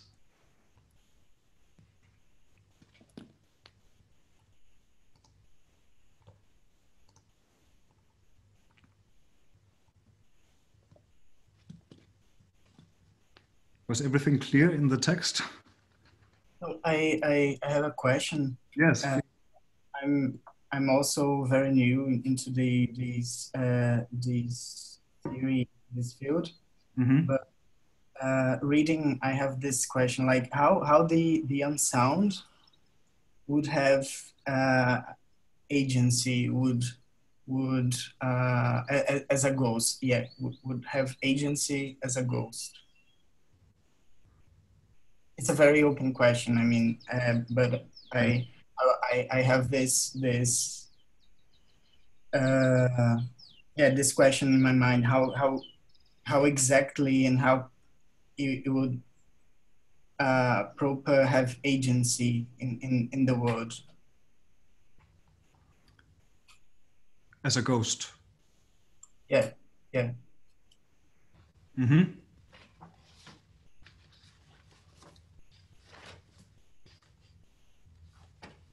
maybe you can you can like uh, elaborate a bit more on on what you mean with the with the ghost. Yeah that there was when it, it's written the uh, second page. Mm-hmm. spoken about the the the hauntology uh, the hauntology's uh, feature I'll just have to find it. And yeah, and that's that's this kind of uh, a relation with a non-supernatural concept of the the spectrum.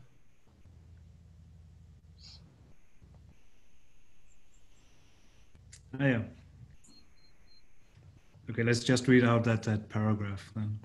So in the early 21st century, the musical zeitgeist has been infected, inflected by the theme of hauntology a condition res resonating with the impact of general structure malaise, a reinvestment in traces of lost futures inhabiting the present, and a non-supernatural concept of the, of the spectre, defined uh, by Fisher as that which uh, acts without physically existing.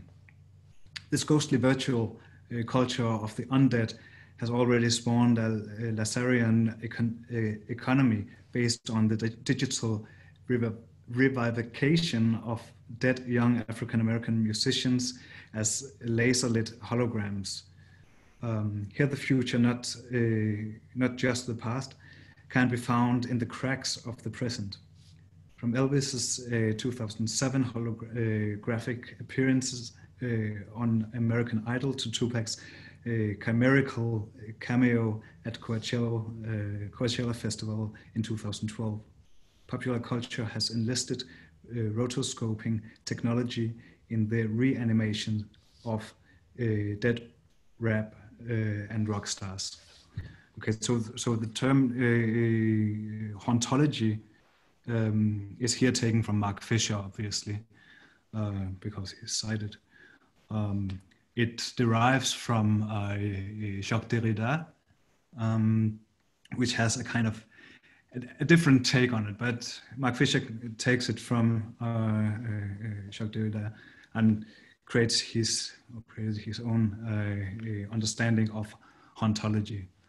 Um, I think it is in, in his uh, book *The Ghost of My Life* that he's kind of developing, and uh, but it is sometimes that I, uh, since I've been working with that. Um, so what is what is understood here is on, on hauntology. Uh, of course, in, in a, it's it's a word plate of uh, the haunted and ontology, like a combination of that, um, especially in in Derrida's uh, understanding of it. Um, so how I understand uh, Fisher's take on hauntology, that is that, okay, there's a there's a different kind of temporality. Like the the past is always haunting us, uh, is always present, and then um, this ghost. Like let, us try to understand that as that which is haunting us in the present from from the past. So uh, Shakur, uh, Tupac Shakur, uh, re-emerging as the, the, the ghost or, or, Elvis or the, like these um, uh, examples that are, are listed here. Um, creates a new way of of of of uh, thinking culture. I think that's kind of the point of it.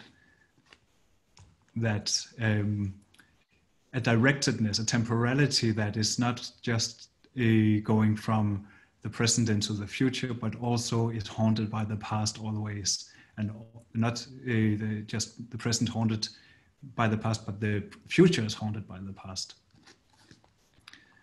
Um, if that makes any sense.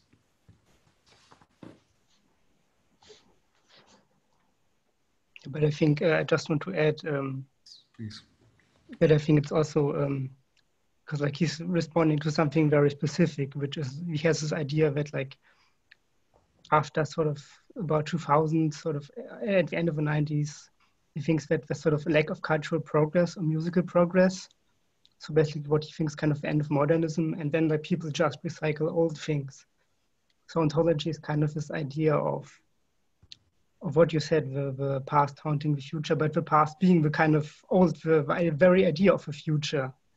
So uh, this kind of modernist past where people still thought about the future and there was cultural progress. Mm-hmm. So it's kind of a, the future that is now the past haunting the future. So it's kind of very complicated. But it's, yeah, basically, I think I think the idea is that when we kind of live in a world where it was just like so much cultural recycling, like reboots, like people doing like 90s music or whatever, like all this old recycling that he's kind of looking for these kind of traces in in the old that are still pointing to the future. This kind of, which I think is very similar to uh, Ernst Bloch, idea of sort of uh, unfulfilled futures, which are still there, but in the past, but we haven't fulfilled them yet. So in that sense, we are still kind of uh, new and actual. Yes. Yeah, and I think it's kind of um,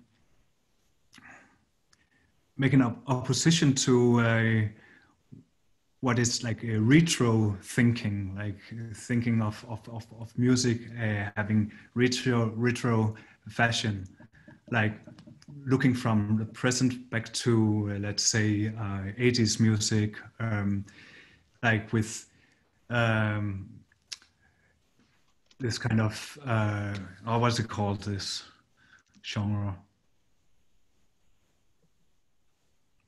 Um, okay, it will come in a, in a moment.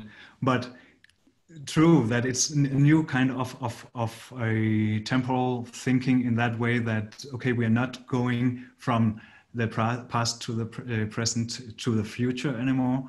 We are always in the present and that which is the future, that is what we are kind, kind of trying to run away from. Um, and that is always been haunted by the past. So in that way, the, the, the, the modernist thinking is going to the future all the time, like the future will always be better.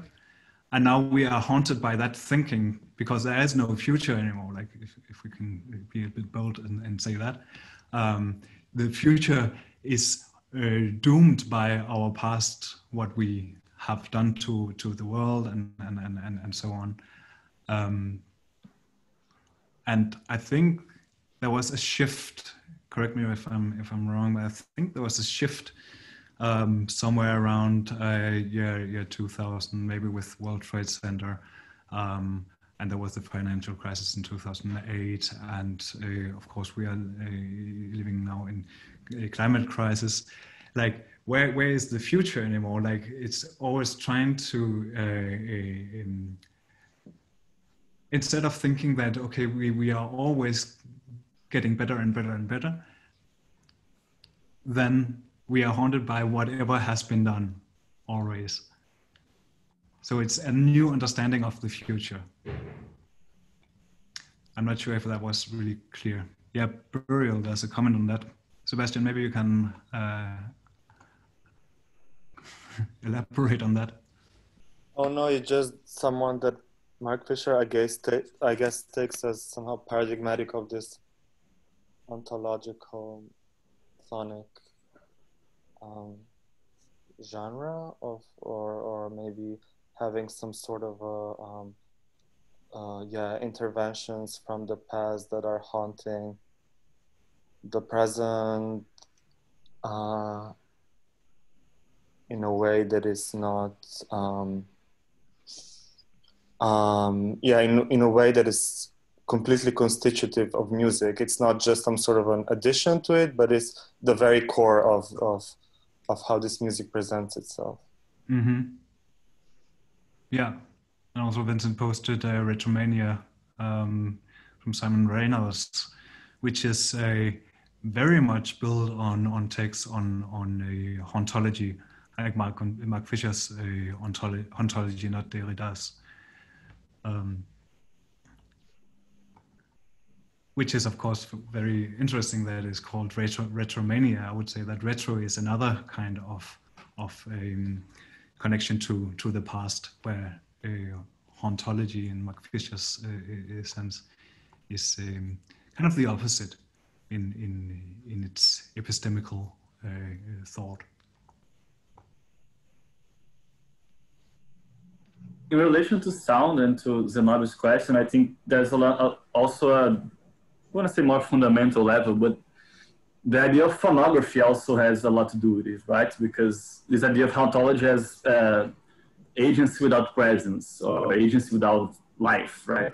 Mm-hmm. And that's very connected to since the, the invention of phonography and Thomas Edison trying to to to record the voices of the dead and to to save it for posterity and everything. That is very uh, there's a big part of the, this this technology of this mode of culture, right? Of of recording and and saving these voices of the dead and these voices of past agencies and how this this impacts us currently.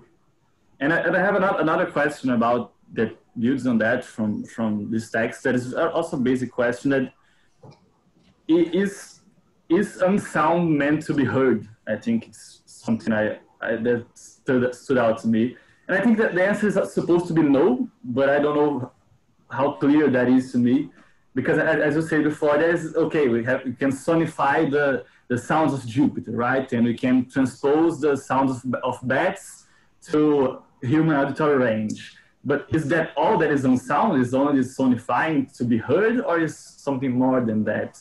Mm-hmm. I think something more, but it's obviously less clear when it's not a common experience we have, perceptual experience we have. So that is something I, I was very interested in. The very sex. Is unsound something that needs to be heard? Um, yeah. Like I think I think that's kind of part of the thought provocation of of the, that word but also it's very um, it's very uh, like practical. Like if you look in in uh, uh, let's see here. Yeah, no, I don't know if it's clear. I'll just have to see if I can look at my camera. There. Like this is from um, the Sonic Warfare. You see like the the auditory spectrum, and then on both sides you have uh, unsound. It says that in, in, in words already there. Um, so, so in that way, it's kind of addressing that, uh, which is outside of the spectral uh, range of human hearing. Um, but I think that's just the point of departure from that, from from, from this book, uh, book project. Um, that okay, that's that might be sounds of bats and sounds of of of uh, of earthquakes um, and all that. But how can we speculate it further? Like that's that's why I, I, I really like that uh, unsound as a speculative probe. Um, so it might have started from Sonic Warfare, uh, that that first page in, Sonic Warfare, but it's like really like pushing through what what can this uh, concept mean? What can it do? And um, speculative sound of uh, Mar- uh, Martian voices or language. It's um, well, you cannot say if it's it's it's heard uh, or, or, that we can hear it in any way, um, but we can speculate about it. And uh, Jenna Sutela's uh, work is trying uh, to do that. And that is going beyond uh, that which is unsound to something speculative, um, which can produce many other thoughts. And that's, that's, I think, is the beauty of the book that it's not clear, it's, it's not proved by anything, but it's like really trying to push through what, what can, what can sound do as well. Um, and not trying to argue against like of course there are many different texts in the book but it's not trying to specifically create a system of this is unsound and we have all these realms that is building the building blocks and and it's consistent. It's not consistent. It's fragmented. It's it, it can be anything and that's what what what the quality uh, of it um, is i think. And therefore also I asked about what how how is that uh, that uh, introduction structured? Like it's clearly also an artistic project. Um, and that leads us to the question what can what can art do? Like it can uh, instead of uh, having to uh, argue through a, a critique of uh, vibrational ontologies and so on art can do something else. Art has to be um, it can be uh, dubious. It, has, it doesn't have to be clear, and many of the texts are not that clear. That maybe telling a short story or um, or, or, or, just elaborating on, on, a, on an idea, and, and and and that's the cool thing about it. Like it's it's really trying to open up uh, sonic thinking as not not not in the way I think uh, Jonathan Sterne meant it in, in, in his text, um, but going beyond that, um, how how is how can we push the limits of what sound can do and what sonic thought can do?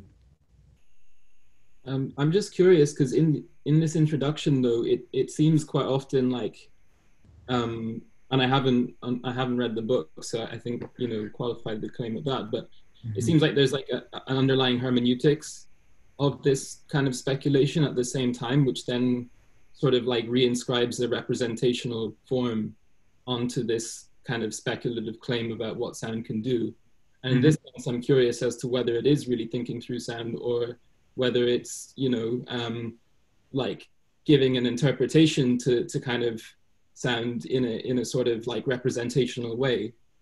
Um, in which case, you know, uh, we we end up with kind of the same problem that we had previously with even with the new materialist stuff where there's like a lot of implicit sort of biases or whatever that come into the kind of subjective determinations and you know like maybe that's fine you know i, I don't see that as necessarily being a problem but then mm-hmm. uh, the question becomes like how do we negotiate between those what sort of which, which then almost like implies a kind of systematicity or a need for something like more like uh, like tractable or something. I don't know.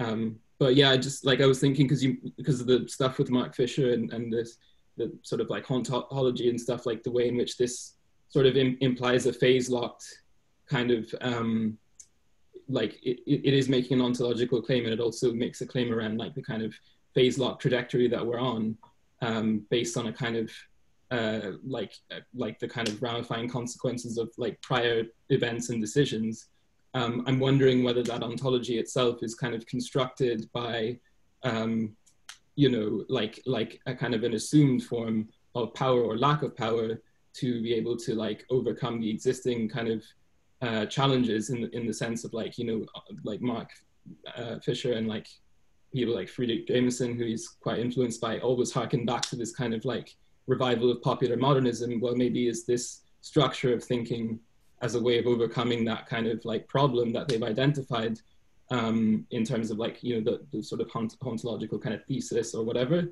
is this not in a sense kind of like a, a conceded form of of like subjective um, you know is, is, this not the thing that needs to be overcome in a sense is, is sort of like the question. Um, and then i think it like goes into media questions around media like you know how do we how do these sounds become distributed and like uh, how do we yeah um, I don't know, like there's there's a lot of things I guess, but yeah, um, yeah, there's a lot of things there. Yeah. Um,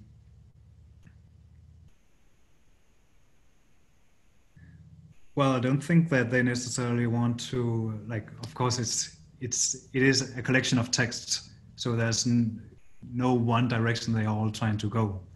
Um, so I think that that uh, a hermeneutic uh, interpretation of some in some of the texts is very valid, and some of them are trying to avoid that in the same time. Um, so so it's yeah, in that way it's not it, it's it's a it's a book written by several authors, like many authors. Um, and that way it's, it's it's trying to do a lot of different things um, so it's yeah i don't know if, it, if if that answers your question but it's like when i'm reading it i i, I read it very fragmented and as an artwork more than a theory book um, and well i also come from the art university and there we understand partly uh, art as theory. So a way of thinking, a way of, of, of uh, gaining new knowledge, which is opposed to, to systematic uh, philosophical thinking that what uh, James might call philosophy with a capital F, uh, F with a capital P, sorry. um, and um, personally, I think that's the that's a really uh, good way to to to approach philosophy and and do new thinking. Um, but that's also just my world. also, uh, sorry, can I take the? Please. Thanks. Uh, I don't know if I can totally answer to Enda, but I think I can contribute to some point to what uh, you were asking about.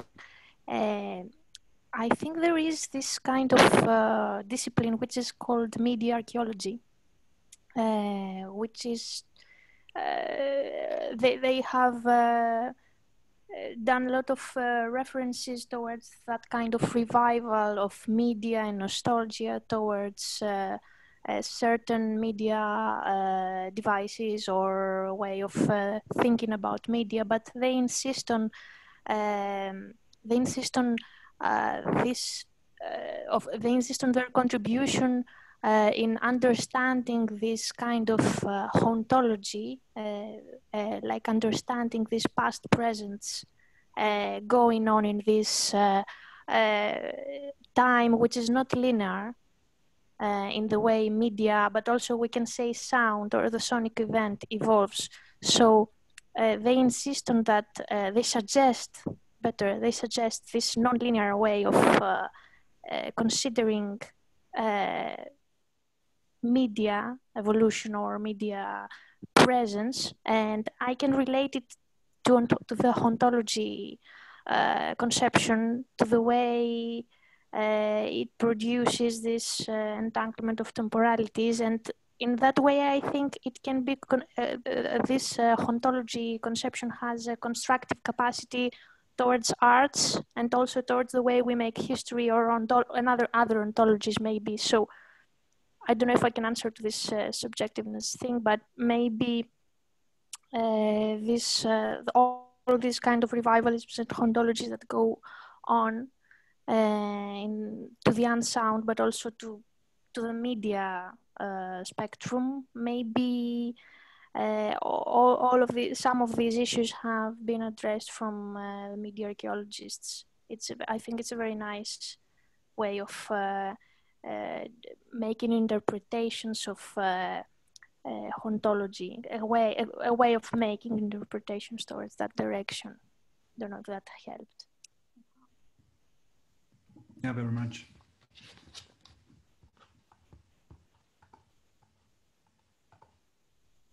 um, like we are, we are slowly approaching the end of today's session. Um, I would really like to um, hear some of you who are, have not been saying so much um, for the last like five, seven minutes. Um, like, of course, we can, it can be related to uh, what Charles said, but also uh, other comments on, on what we've been uh, going through today.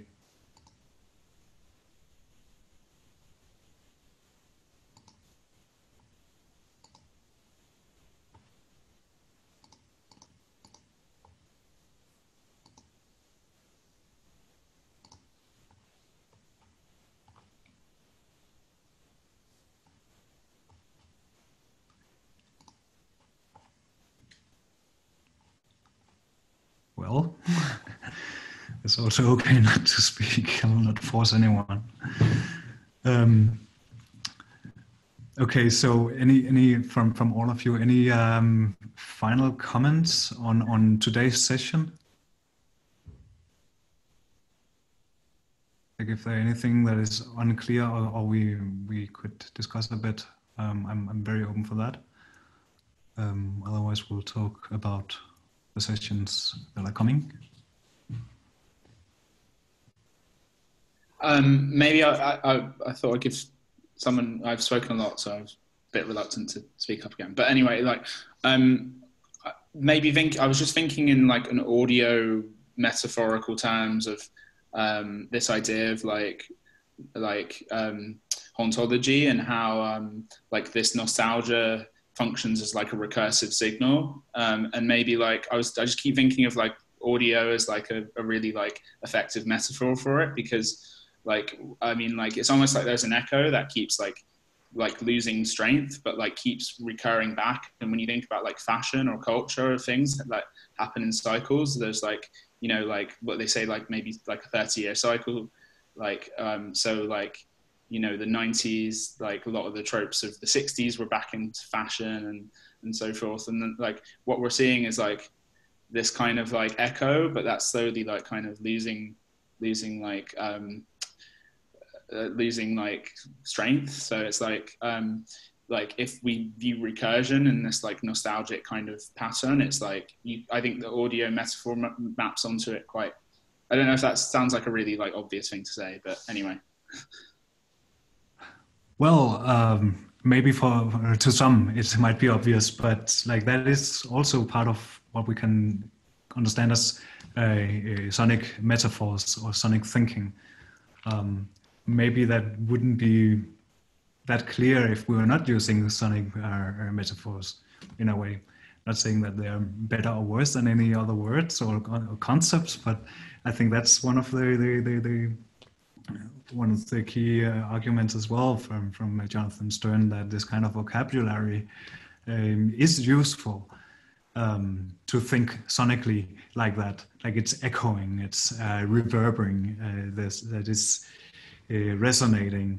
Um, I think that's a very valid, valid point um, to to to uh, think like that, and then I think it's also a good way to uh, engage with uh, sound studies uh, texts that's trying to not just read the words of, of, of, of um, resonating, for example, as as a concept that is just the, the word as we understand it in our everyday life, but trying to really engage with what, what does it mean that something is resonating or something is uh, rhythmical um, I know uh, we, we, talked a bit about uh, Deleuze uh, Guattari, and they they they did that.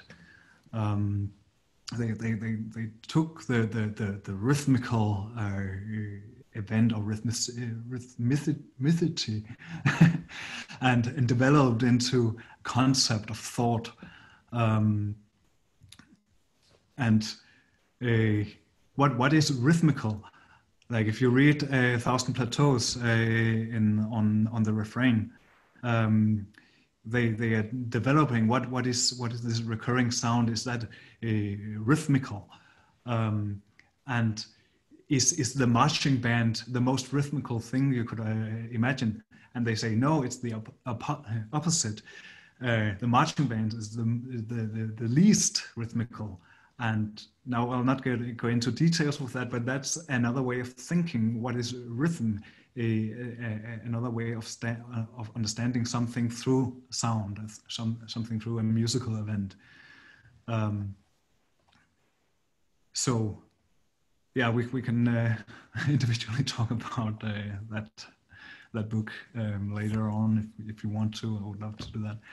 Um, now we have kind of come to the end um, of the session. I'll just check the the, um, the presentations.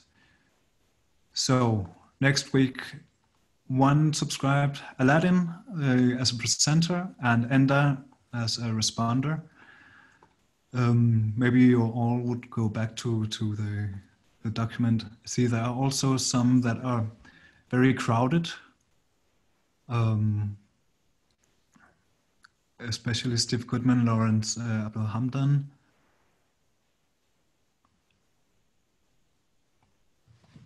I don't know if, if, if one or two would would uh, uh, jump to uh, uh, one of the less crowded um, seminars. I would say that um, I will let that be open um, until yeah. Let I will just let it be open uh, until uh, tonight, or yeah, for me tonight is yeah, it's now but yeah, uh, tomorrow morning, my time, Berlin, um, which is in, I don't know, 12 hours. Um, I will uh, uh, close it down then.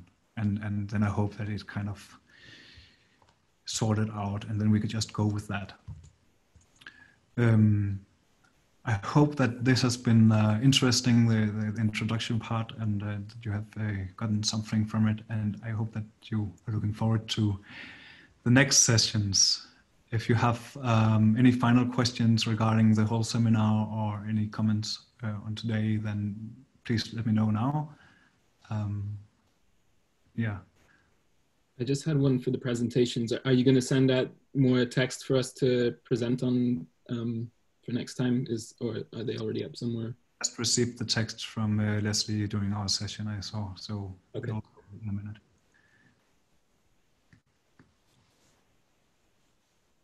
Great. Then, um, oh, that's a question from Sharon. I signed up for this course quite late in the day and wasn't sent any of the readings. Um, who should I check with to make sure I uh, for next week? I think there is a Google Drive folder. Is that right?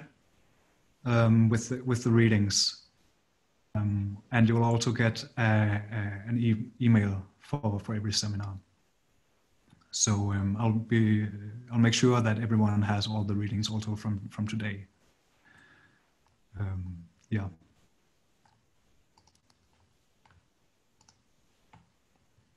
Good.